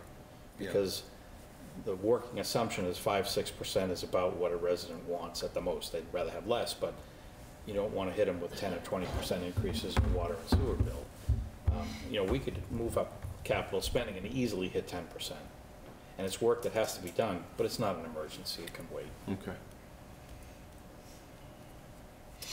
So here's that, if we don't use any reserves for water, that's the increase you're looking at. Um, That's sewer, so combined would be twelve percent. If you use eight hundred thousand, which is pretty easy to do, there's the five percent number that we like to target. Um, Every hundred thousand of reserves reduces rates by a little less than a percent. So, um, that change is primarily due to, I mean, if I think back to the array of slides, it's the MWR rate, MWRA rates that are driving. Um, Partly it's the MWRA rates, but it's also, if you remember, within that number, um, water capital was going up. Well, the water local cost took a big jump and sewer took a drop. Right. Some of that's a little artificial because we just spent a lot of money at one of the mid-year town meetings to spend it on sewer. So the drop is not annual to annual, it's annual to what just happened. Uh, But the point is, the real reason for water going up is a lot of capital Yeah. in the FY seventeen budget. And because of water, we pushed almost all sewer capital out of here. So we could, just couldn't afford to do both. Got it. Bob, can the reserve funds be used for for anything but stabilizing the, the rates. It can be used for any purpose within the uh, enterprise funds themselves. So if you wanted to throw it at a capital project, you could certainly do that. You could, yeah, you could put it as, you know, part of the annual budget, you could use it during the year. It requires a vote at town meeting, but otherwise you can use it for any purpose. To your point about pushing out projects, would you be inclined to continue to use it only as stabilization, or would you be inclined to Um, I'd be inclined to keep a certain amount for emergencies for sure, and otherwise, I think you look at the whole picture. We have a forecast from the MWRA, they're pretty good about forecasting. I pretty much got in the habit of realizing it's one percent less than they say all the time. Right. Um, If suddenly things became very volatile and unpredictable, I might have a different answer, but I think for now, you just look at the whole package, and you don't have to target what the reserves are for, say, in that project. All right. The Um. Here's a longer-term look at rates, and again, it's a little artificial because this is the, di- get rid of the discount, but the, you know, the rates are the nominal rates. Um, But, you know, with the exception of this year, which was the volume adju- adjustment, and around when we joined the MWRA, uh, you know, rates have been more or less around five percent. And if you remember that thing I, I looked at um, for what school and town operating bu, or budgets were like since the last override? Right. Water and sewer were around four or five percent. Yeah. I think it's closer to five over a long And period. that would predate MWRA too. Right. But there's more volatility here. Yeah, definitely more volatility. And, you know, I don't know if that's a good indication of sort of an unfettered government, but, you know, Prop two and a half, if it was water sewer, you couldn't be supporting your infrastructure, basically. Right. There's just no way. Isn't that an interesting, Observation. yeah, it's almost, um, This is given what MWRA is forecasting, and, and again, it's a little high. Um, You know, it's gonna be a little harder to hit your five percent target in the next three years if MWRA is what they say they are, and even if they're a little lower, it's still gonna be pretty challenging. We are gonna plan to use reserves, I'm quite sure. And, and this is the big point here, is eighty-one percent of the sewer rate is determined by the MWRA charge. So that's a real exposure to Reading. Yeah. If they suddenly have a big jump, um, you really can't stop it. Right. You can use a certain amount of reserves to mute it, but it- you gotta pass it through. and that's the real difference Yeah. from when we used to do this with our own. Well, we always had sewer in the Well, old. well, for sewer, but it keeps, as a percent, it keeps Yeah. going up every year. Yeah. It used to be high sixties, low seventies. Do you believe we're now it's more 80. exposed than other towns? Uh, no, I think it's, this is very calm. Usually you don't have a lot of set staff on the sewer side because it's sort of a self-running thing. Whereas water, you tend to need to do a lot more infrastructure work. Um, For stormwater, um, this will be a real topic for the board over the next year. Uh, There are some uh, federal regulations that, you know, have been due for years, uh, were thought to come out in the winter, and then January, and then February, and now March. It's almost the end of March. Um, There will be stormwater regulations that are onerous. Um, We've never seen a breakdown of Reading, but we have seen a breakdown of the Commonwealth, and I don't remember the numbers, um, but they're in the hundreds of millions of dollars. Um, And because the figures were so large as estimates by supposedly independent people, um, the feds are back at the negotiating table, which is why there hasn't been a release, because it's too onerous. So they're trying to pare that back, and we might see something out by uh, April or, April through June. But, but aside from that, locally, you still have some issues that we finally need to deal with. Um, Every year, the Stormwater Fund has, has put seventy-five thousand or a hundred thousand or roughly aside to do generic drainage projects. We now have identified three to four very specific ones that have to be done.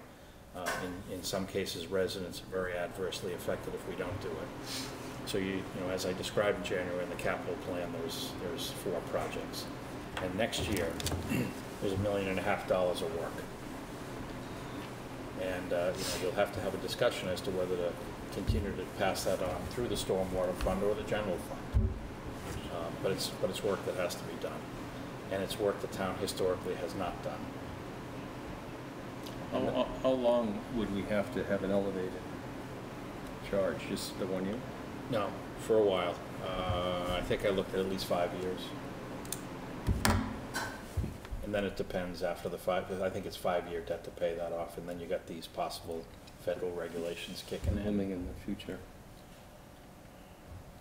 Um, So I have all kinds of material here. Um, If the board's not comfortable setting rates with three of you, that's okay. It's just really for town meeting.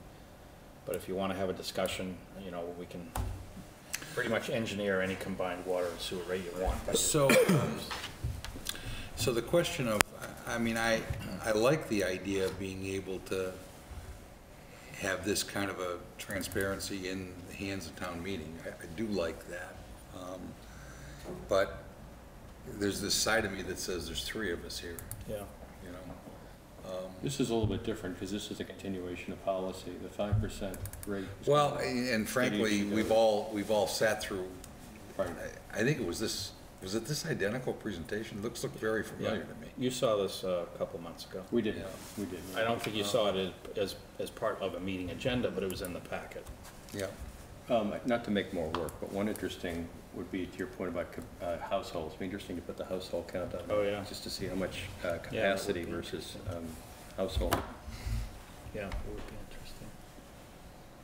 Um, Does anybody have questions for Bob?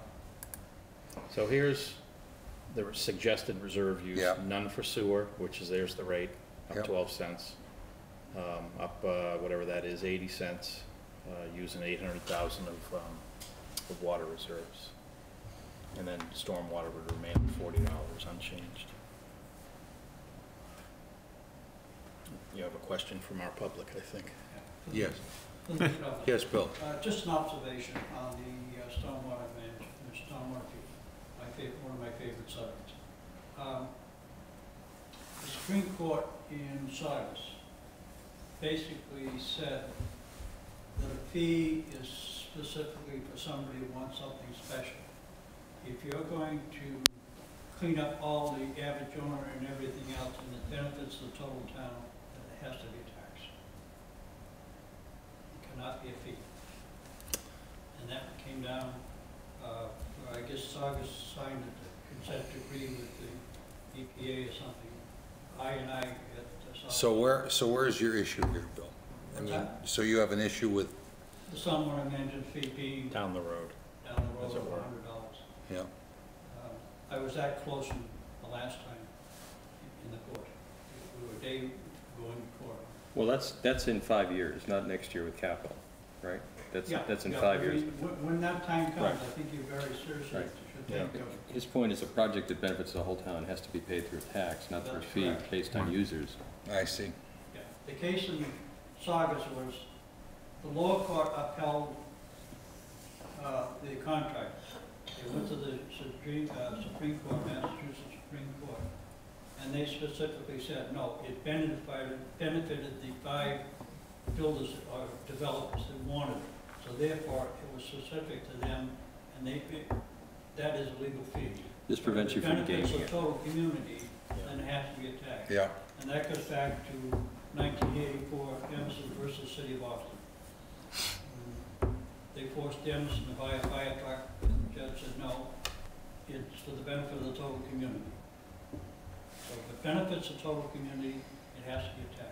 Sounds like we got five years to worry about that, then. Well, yeah. I may not be here five years. We may have, we may all be in different places. My, my lot's already reserved, so. And paid for. Good view? Huh? Good view? No, I got fourteen still open.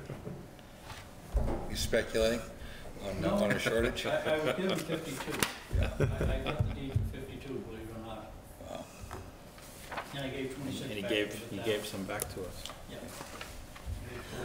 Um, what's the feeling of the rest of the board about taking With that action? comment, I'll leave you.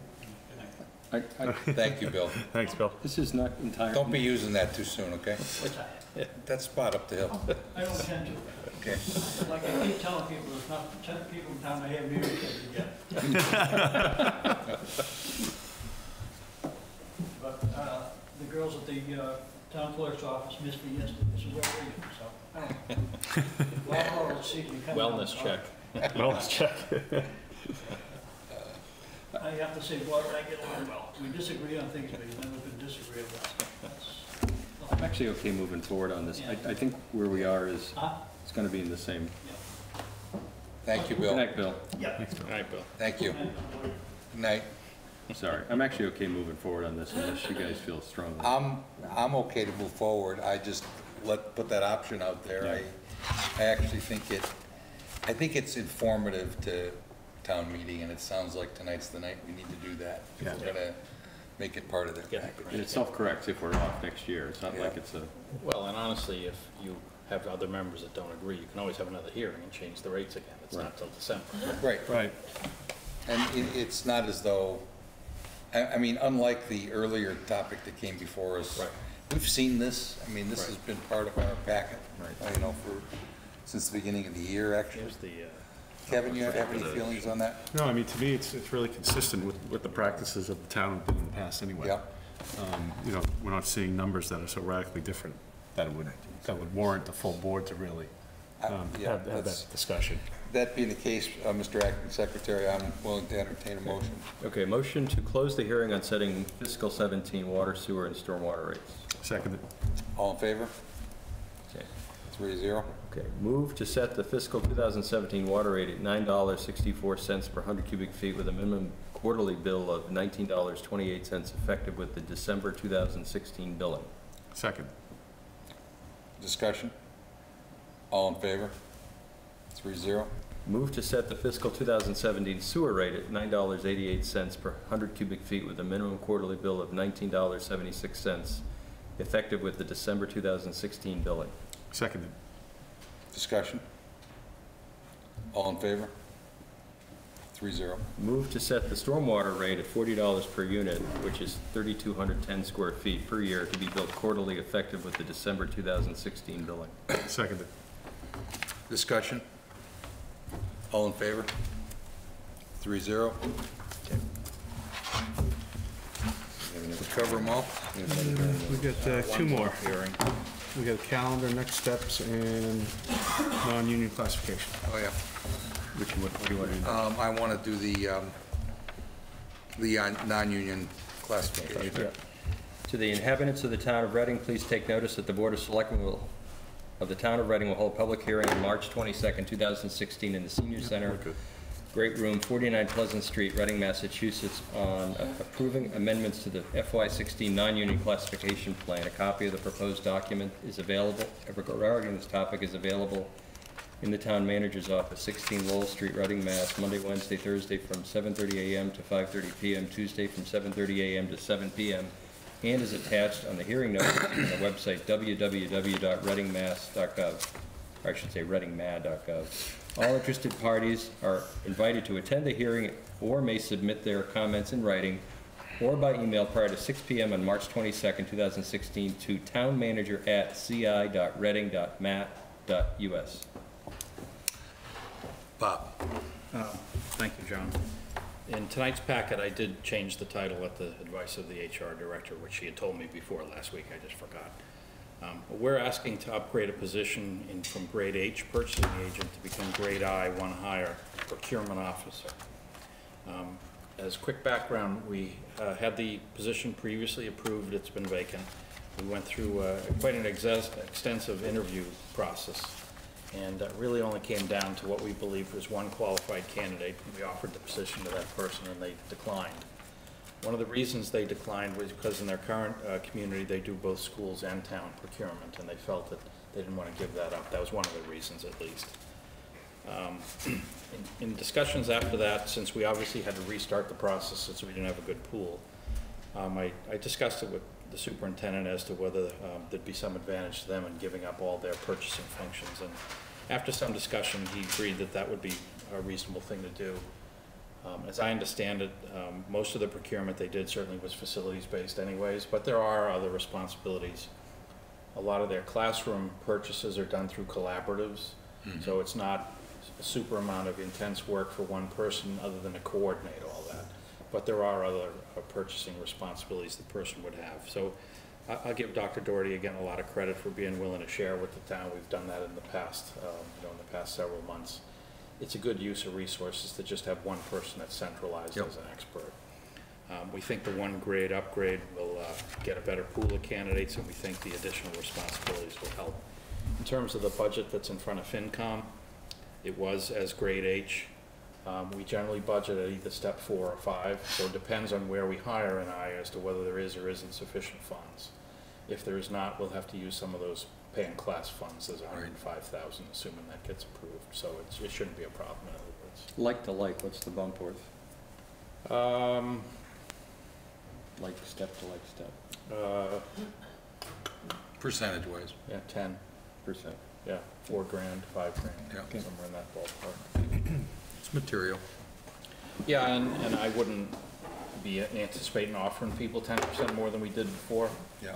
but mostly this gives them more upside in, in career. If they were gonna start at step five and now they start at step two, even for the same dollars. Well, I think the fact that the, it's a collaborative effort on. Yeah, and they'll be both of them, spending some that time adds at the to, school you know, that- department. That adds to the, Yeah, to the allure of the job, I think. I think so. That, that's what we heard. And it, when- what we've seen in facilities, Yeah, you know, speaks to what you guys have been able to accomplish by coming to that, coming to terms on that. and, and I'm also told, um, mostly from our side, but from John also, that the HR sharing is working out really well. Good, The excellent, position, yeah. excellent.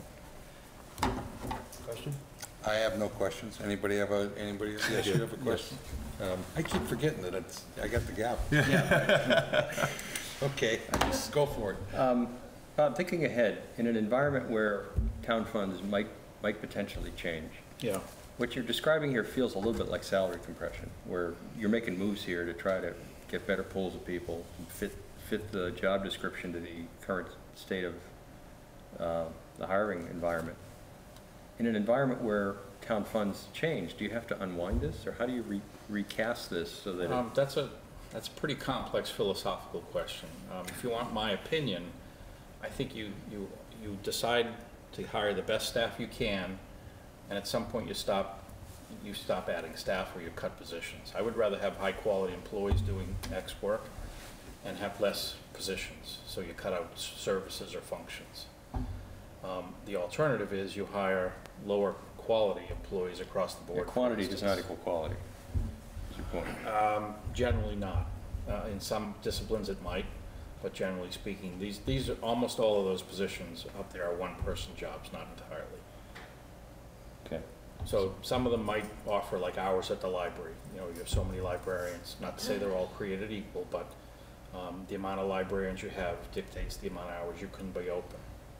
Um, you know, the amount of purchasing agents you have, there's one. So we, we tend to wanna pay someone in the middle as best we can, but get high-quality people. And, you know, as, as John and I, uh, John Doherty and I have discussed, uh, hiring in the last year has been, been hard. You know, we had twenty-five open positions last summer, we're down to less than ten. You know, we're, we're hoping to fill them certainly within the next two months. Thank you. But, you know, if resources get tighter, rather than start cutting people pay or slowing them down, I'd rather eliminate jobs, quite honestly. Uh, My question was actually the other way. If, if Um, someone, it, Wouldn't have any reason to go up, although unions will certainly be interested. This is the non-union. I- I'm just, I'm just wondering, to what degree is this driven by compression, and therefore, Um, how do you relieve the compression? You know, the pay and class study that was done last, um, one of the, one of the uh, conclusions he reached I didn't like was not to have ten percent between all the grades. He just had random numbers in between them based on what he saw. And that- that offended my engineering sense. Um, You know, not everything fits in perfectly, but you can make it fit. I mean, you can make them all eight or all You nine could or put them all something. Yeah, random. They yeah. don't have to be on any semblance Then of you can order. explain. Right. So, you know, could we expand that list? Yeah, we could. Um, You know, the, the 12 steps we have are also narrow for the industry. Uh, 30% is typical, we're 24, start to finish, so, you know, we could add there. Um, I- I'll be honest with you that the, uh, the area we run into the most compression on is department heads. Um, There are towns who have taken all those department heads in the top two grades completely off a chart like this. So they just can't fit. You gotta deal with them as people individually and you negotiate the, on that basis and you have a contract. You know, Reading's never done that. But it is challenging to hire people within that framework if you're, you know, have a retirement and you're looking outside the organization. Right, to bring somebody new in. Yeah, next time you hire a town accountant, you'll understand. Let's hope it's not for many years. That's really where I see the challenge is, is Yeah. there. Any questions? Any other questions? Nope. Um, So I think we could uh, entertain a motion. I think we have to close the hearing, don't we? Yeah. Move to close the hearing on amendments for the FY sixteen non-union classification plan. Seconded. Discussion? All those in favor? Three zero? Move that the Board of Selectmen approve amendments to the FY sixteen non-union classification plan, which will upgrade the vacant purchasing agent position by one grade and rename it to the procurement officer. Second. Discussion? All those in favor? Three zero? What's next, John? What do you want to The go? only thing we have left really, um, which might have been a discussion while we still had a room full, is where are we in the calendar and steps on, um, on our override discussion of two weeks ago? I think that that's worth reviewing. Just the calendar. Um, Yeah, and where, we- where do we go from here? Um, I, I think that it's going to be important that we communicate to, to town meeting in the state of the town address. Um, And I think it's maybe a good idea for us to review and be sure we're on track for what we want to do. Um, Bob, maybe you can review the minutes with us on this. Um, My suggestion is, up there you've got a calendar. Uh, you the selectmen meet on the April 5th and April 19th. Uh, My suggestion is you do not take up this topic at those next two meetings, because I don't see any tangible reason to have a discussion. Uh, That brings town meeting then into focus on the 25th and maybe the 28th. And then your meeting on May 3rd or, and/or May 17th, I would suggest you next pick up this topic. And is that that the time that, um, it seems like to me that at some point, probably um, following town meeting, um, some consideration ought to be given to um, our role in informational meetings. Yeah. um, You know, in the, in the neighborhoods. But it seems like, it also seems like to me that we've, I don't want to talk this to death in a time when it's not pertinent, I agree with Right. that. Um, Yeah, I- I thoughts? think, uh, you know, we had to really be careful what we did till tonight's ethical discussion, Yeah, just to keep sure. everyone on the page. Um, I listed neighborhood meetings starting May 8th just as a placeholder. They just happen to, there has to be some offerings uh, before school gets out. Yeah, I'd say minimum of two, maybe three. The location could be middle schools, could be high school.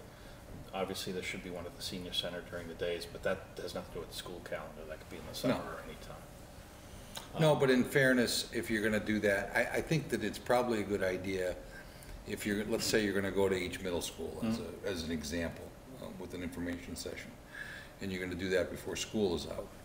I think this would be a good place to do it in the middle of the day before we really get into vacation season, kind of, you know, for the same reason. People might go away and, you know, I'd like to, you know, not uh, hide those sessions in the middle, not hide them, but, you know, not get as big a coverage from an informational standpoint in the middle of the summer.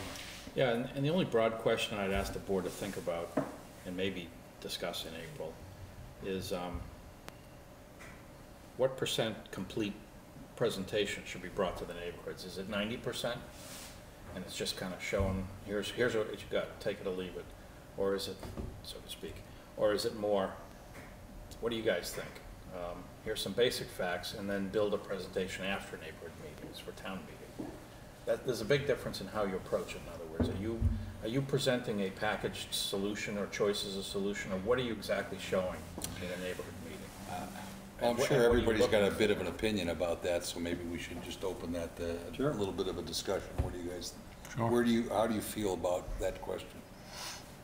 Um, It is an interesting question. You know, in one aspect, you're building a, um, sort of a a running tally of what the, the town is looking for.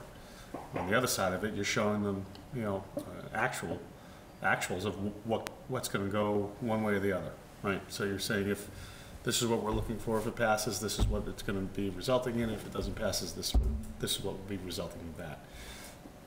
That's one format. The other format would be to go along with it and find out from, from them what's, in- I guess, what's important along the line. I think, I think we know the answer to that. I think everything's important, isn't it, generally, when we go into these meetings? I don't think there's one thing that's not, not important.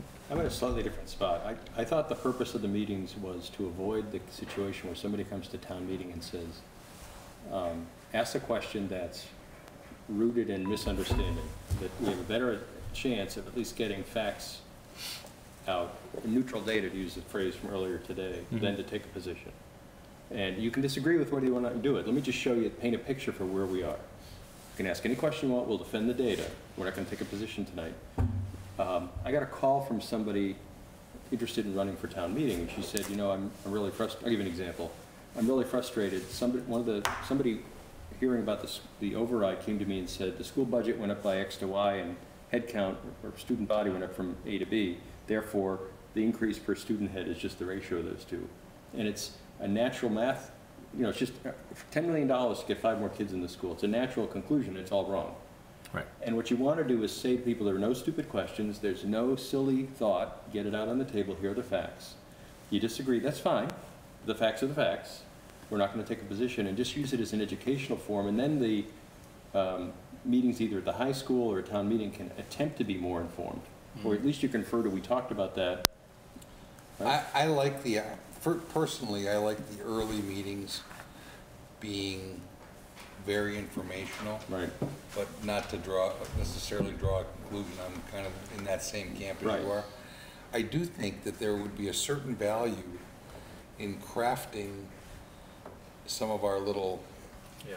little button questions. I, I think we At should. town meeting, yeah. Well, I think we should do it at town meeting. I think we should Maybe at consider these it. meetings, too. In these meetings as could be well. set up, that'd be a great And I idea. think, and I think to, you know, to the point that was raised here, if we do that, if we lay out things as best we can understand them in a clear, transparent way in these early meetings, and then ask a series of questions that helps drive us towards a more thorough, you know, um, discussion as we get back from the summer break, you know? Because I think that's the time that we need to be, I think we need to be at our best based on all the information we've collected from citizens and, you know, the, the various um, little survey, you know, clicker questions that we could ask. And I think we'd have to be, thought.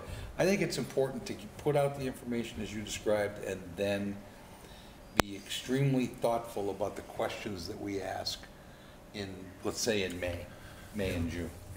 Um, We could use the data we collect, the questions we collect as a basis for some of those. Yeah, for And where you go refine the from ma- there. And refine the material to go forward. Yeah. What's gonna be hard, having just advocated for that, is people are gonna say, great. I understand the circumstance, I understand the data. What happens if I say yes? What happens if I say no? And you really have to be prepared during the meeting to have an answer to those two questions. Well, I think we have to be able to answer that in a general way without, you, there's certain areas In a we general can't, way, we exactly. can't stray into. And I think it would be counterproductive to stray into certain areas. Agreed, but we need at least an answer that fits the, fits the bill. You do. What will happen? You know, how, what will, how will you prioritize the use of hmm. cash if you don't get an override? How will you prioritize it if you do? Well, It's equally will be- good question. will be another Yeah, question. Equally good question. Both of those questions are gonna surface, and I think in the early round of meetings, we have to be honest and say, we wanna know what you, what you all are looking for in the way of information, and then we can come back to you, and when we reconvene after the summer break, and answer some of these questions in a more definitive way. We can speak in generalities and should. I mean, here's a reality, if we run out of money, certain services are gonna, you know, be altered. That's just a natural fact of life. I mean, we're not gonna be able to, There's no free lunch. yeah, exactly. Um, Let me ask you a question, let me ask you a question just in regards to a formatting standpoint, really more than anything. You know, let's say we wanted to go out and present, um, make, or make just generally a full presentation at, at these meetings or Mhm. a series of these meetings. How long of a presentation, time-wise, are we looking at? No more than thirty minutes, you're gonna lose people. Yeah, yeah, well, that's my point. I mean, is it, is it, is it worthwhile to, to have something that It's you're thirty to breaking? forty-five minutes, I Where you're think, is breaking the- down maybe different segments of the Yeah. town uh, at these meetings to be more in-depth The in each one one? slide that we had two, me- two meetings ago, where we talked about the general increase year to year outside of, of, um, health spending and. um, Here it is. What was the other? Capital debt. Capital debt. Right. That was, that's the aha moment, that's the starting point for most people. We're on a train that gets us to X percent a year, and it's been that way since fifteen years, the foreseeable past. Yep. Yep. And that's what we're, how we're built. You may not like it, but that's how we're built. So one thread might be, where does that come from? You might have a slide on that. What happened, the next, what does the future look like? That might be another slide. The next slide might be, what happens if, um, what kind of override would be appropriate? You know, what would you see as appropriate to at least sustain what we have? Not equal, not level uh, service, but level. Well, there's a funding. real interesting question in regards to that, you know, at, at what, even, Well, even multitudes of that. So this kind of override well- gets you this, this kind of override gets you that. But there's another piece of that too, and there are, there are kinds of overrides that start up here but get utilized in a gradual way. Right. Those blended overrides, and I think it's Yeah. important for people to understand how that works. That's a nuance I almost want to wait, I want to get them through Yeah. the one-on-one And class. I- I can pretty much, uh, with, in simplistic terms, create an override that keep- keeps us level service. We'd all have to agree on definitions and so forth. Um, And then, hopefully, you know, it might be complicated to do, but it has to be simple to explain. And then come up with, you know, A, B, C off that. These are the additional things. Either you get another one percent a year, or you get an extra million dollars up front, or whatever the options are. Oh.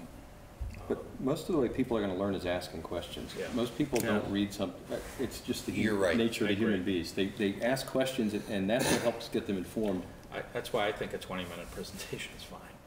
But I Easy think, and I think you have to do it with no more than half a dozen slides. I agree. I'm in the same place. It's, it's. Uh, You know, the top because six, eight otherwise then it, slides. it just, it's time to glaze it over. There's, right? there's, so- yeah, I was gonna say, there's so much information in, in That's there. exactly what you, this is a top-down presentation, it's not bottoms up. So Right. you kind of start with this and go to maybe three or four sub-things, and if they want to hear more, here's the things you can ask a question. I mean, maybe useful, to- maybe it's a waste of time, but if they could ask questions, if we have a prayer of collecting them in groupings and answer them in group in one response. Yeah. You can come to the meeting at the high school, where we'll roll this up, we'll give you the next four slides in the series. Right, right. The- uh, I think that's it's a also great way to do important to be prepared with an appendix. You know, in other words, Stuff on the website. there, there's stuff available. Oh, for you. yes, yes. If you would like to get For into further depth, information. for those people who, who really want to look at it, and I think it's important that they have that option. Because there are going to be people that are going to want to, Yeah. they're going to want to take a look at, here's the narrative, here's the, you know, here's the thirty thousand foot view, how'd you get there?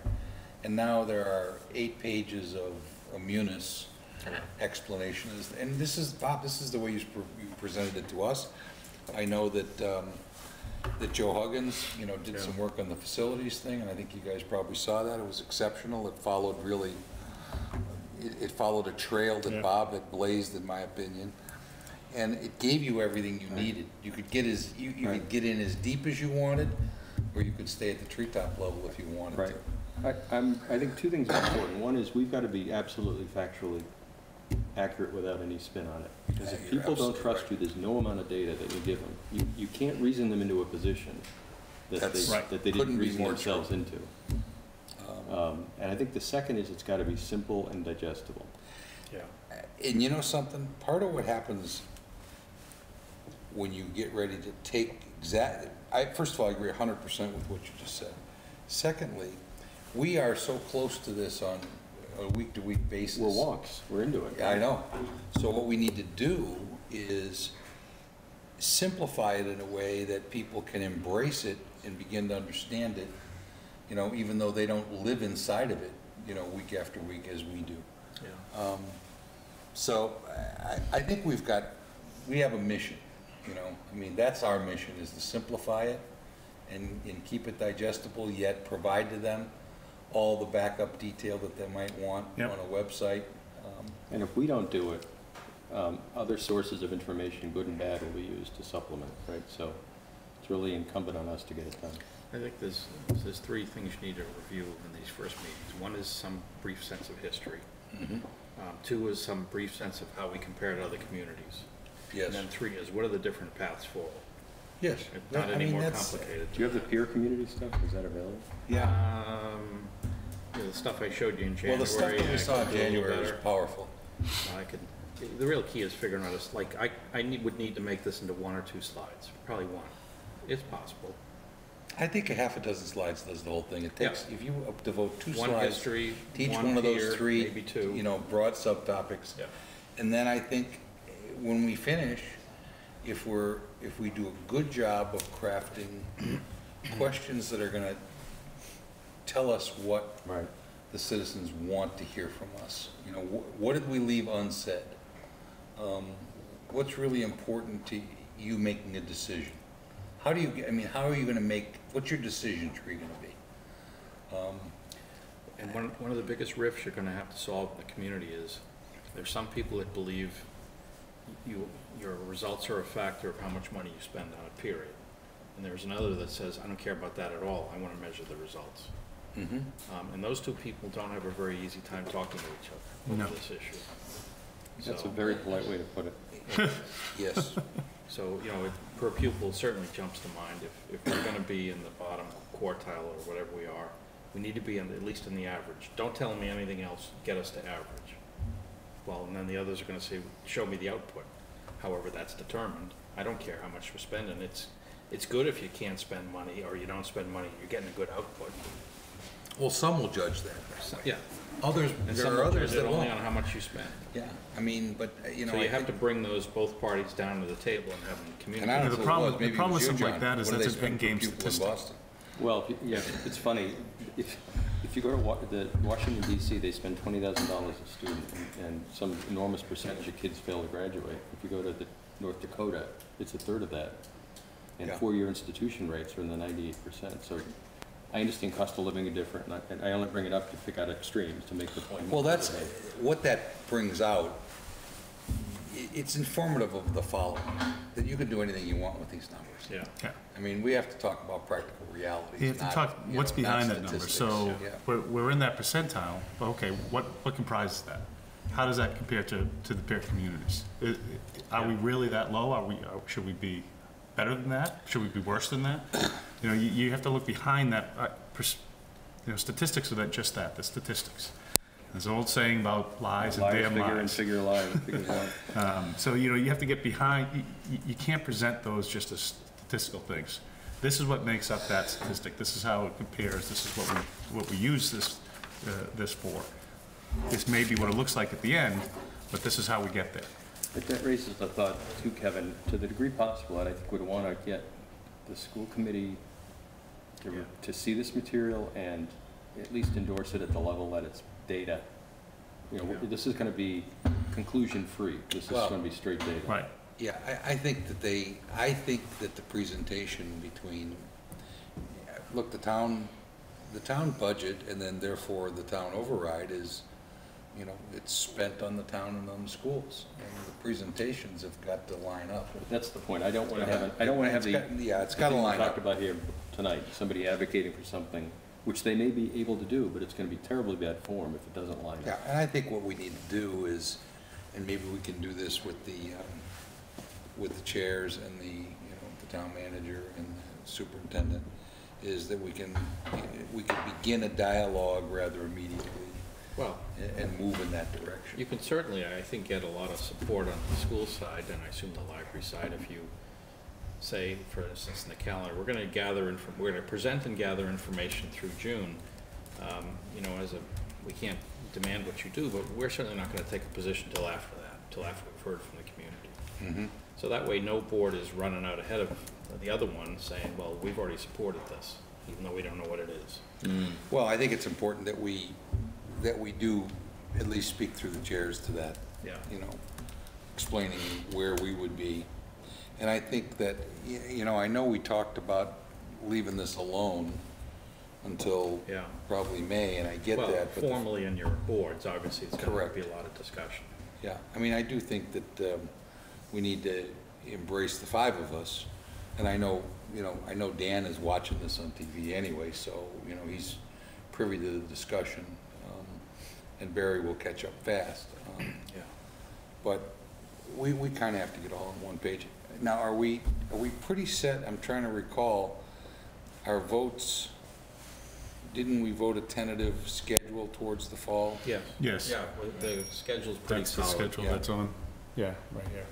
You know, the real crunch time doesn't happen till September. Till September, right. And uh, um, you haven't, I don't believe you all seen this. I just put together some packet for the the two chairs and the superintendent and myself.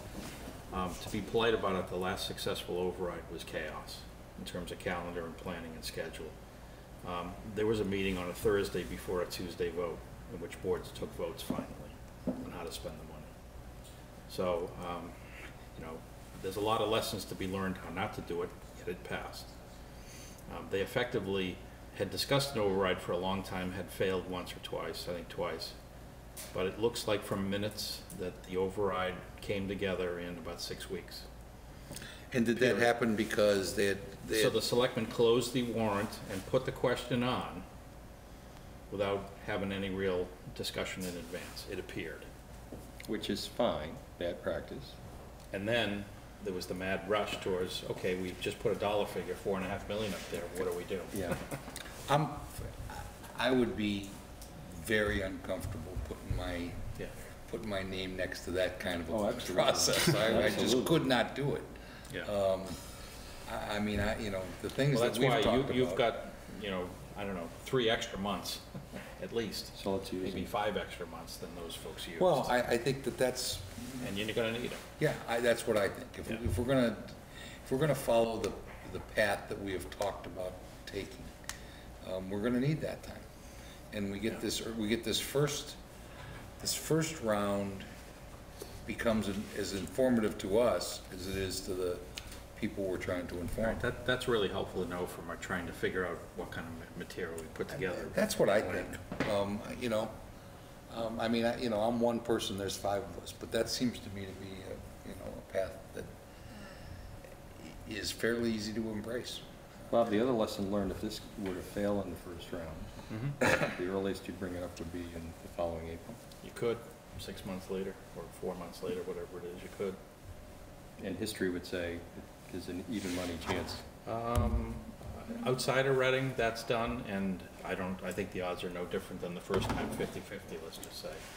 I don't think Reading has ever done it that close together. There's no rules about it, though. You know, if, if you want me to be a selectman for a minute, I'd have to have a reason why the no vote, something materially changed. I gotta ask again. Maybe if the turnout was twelve percent, and I think, you know, not enough people really came out to vote, that could be a reason, aside from some, you know, financial reason. Yeah, you can't just keep looking for the You answer can't you just want. keep asking, Yeah. exactly. And you have to, uh, you know, as- presume will, that John and I will have some sort of a rough sketch of a budget at at the very least to present to that September town meeting. Um, And it's uh, disingenuous to ask again in April, because you just asked once for FY eighteen. Right. You might ask the next year. And, you know, he and I both fully understand we have to have a- at least a pair of budgets in our, in our head if nothing else. Right.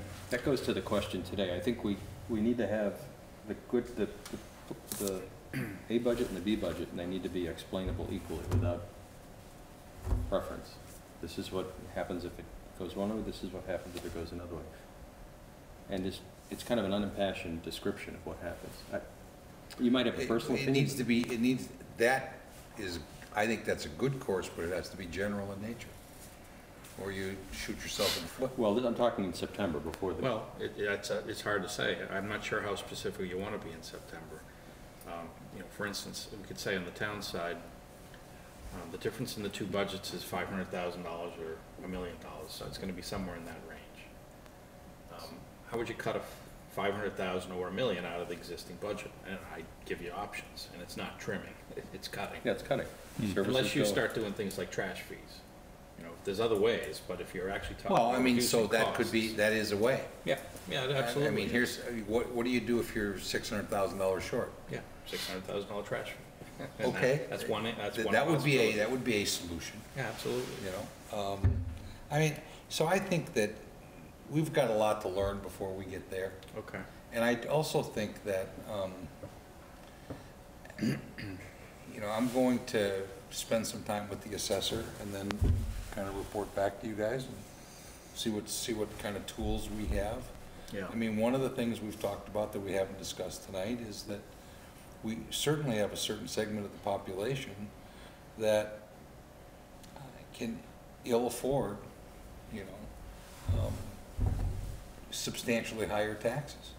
And so we have to look at tools and the, and, you know, we need to examine them in a thorough way so that we're ready to, um, either take, I, I think, be ready to take action so that there's a certain comfort level in the protective glasses that, uh, They, they won't, they will have the opportunity to make a decision with that knowledge. And I think we can, we can ferret that out between now and September. Yeah, I think it's absolutely part of and, it. You know, and make a decision. So, you know, I, I just, I'm gonna make it my business to do that kind of research and, uh, and then we'll bring it back. And when we get closer and it starts to become evident what our opportunities are, we'll get them up on the table and discuss them in a public meeting. Okay, that, that's helpful to get a sense of what you want to do in the first set of meetings. Yep. You guys had enough? I think so. Let's get Paul What do you out of think? You here. had enough, Paula? Okay, as long as Paula said enough, I'm ready to get out of here. Have we done the minutes yet? Uh, Yes, we did have. the minutes. Okay. We We're did the done. warrant. We All actually you did need to do everything is on the adjourn. agenda now. Okay, Um, One last And we piece. have many people that are ready to leave. okay. Move that the Board of Selectmen adjourn the meeting at 10:40 PM. Seconded. All in favor? Thank you all All right. for your patience and kind attendance.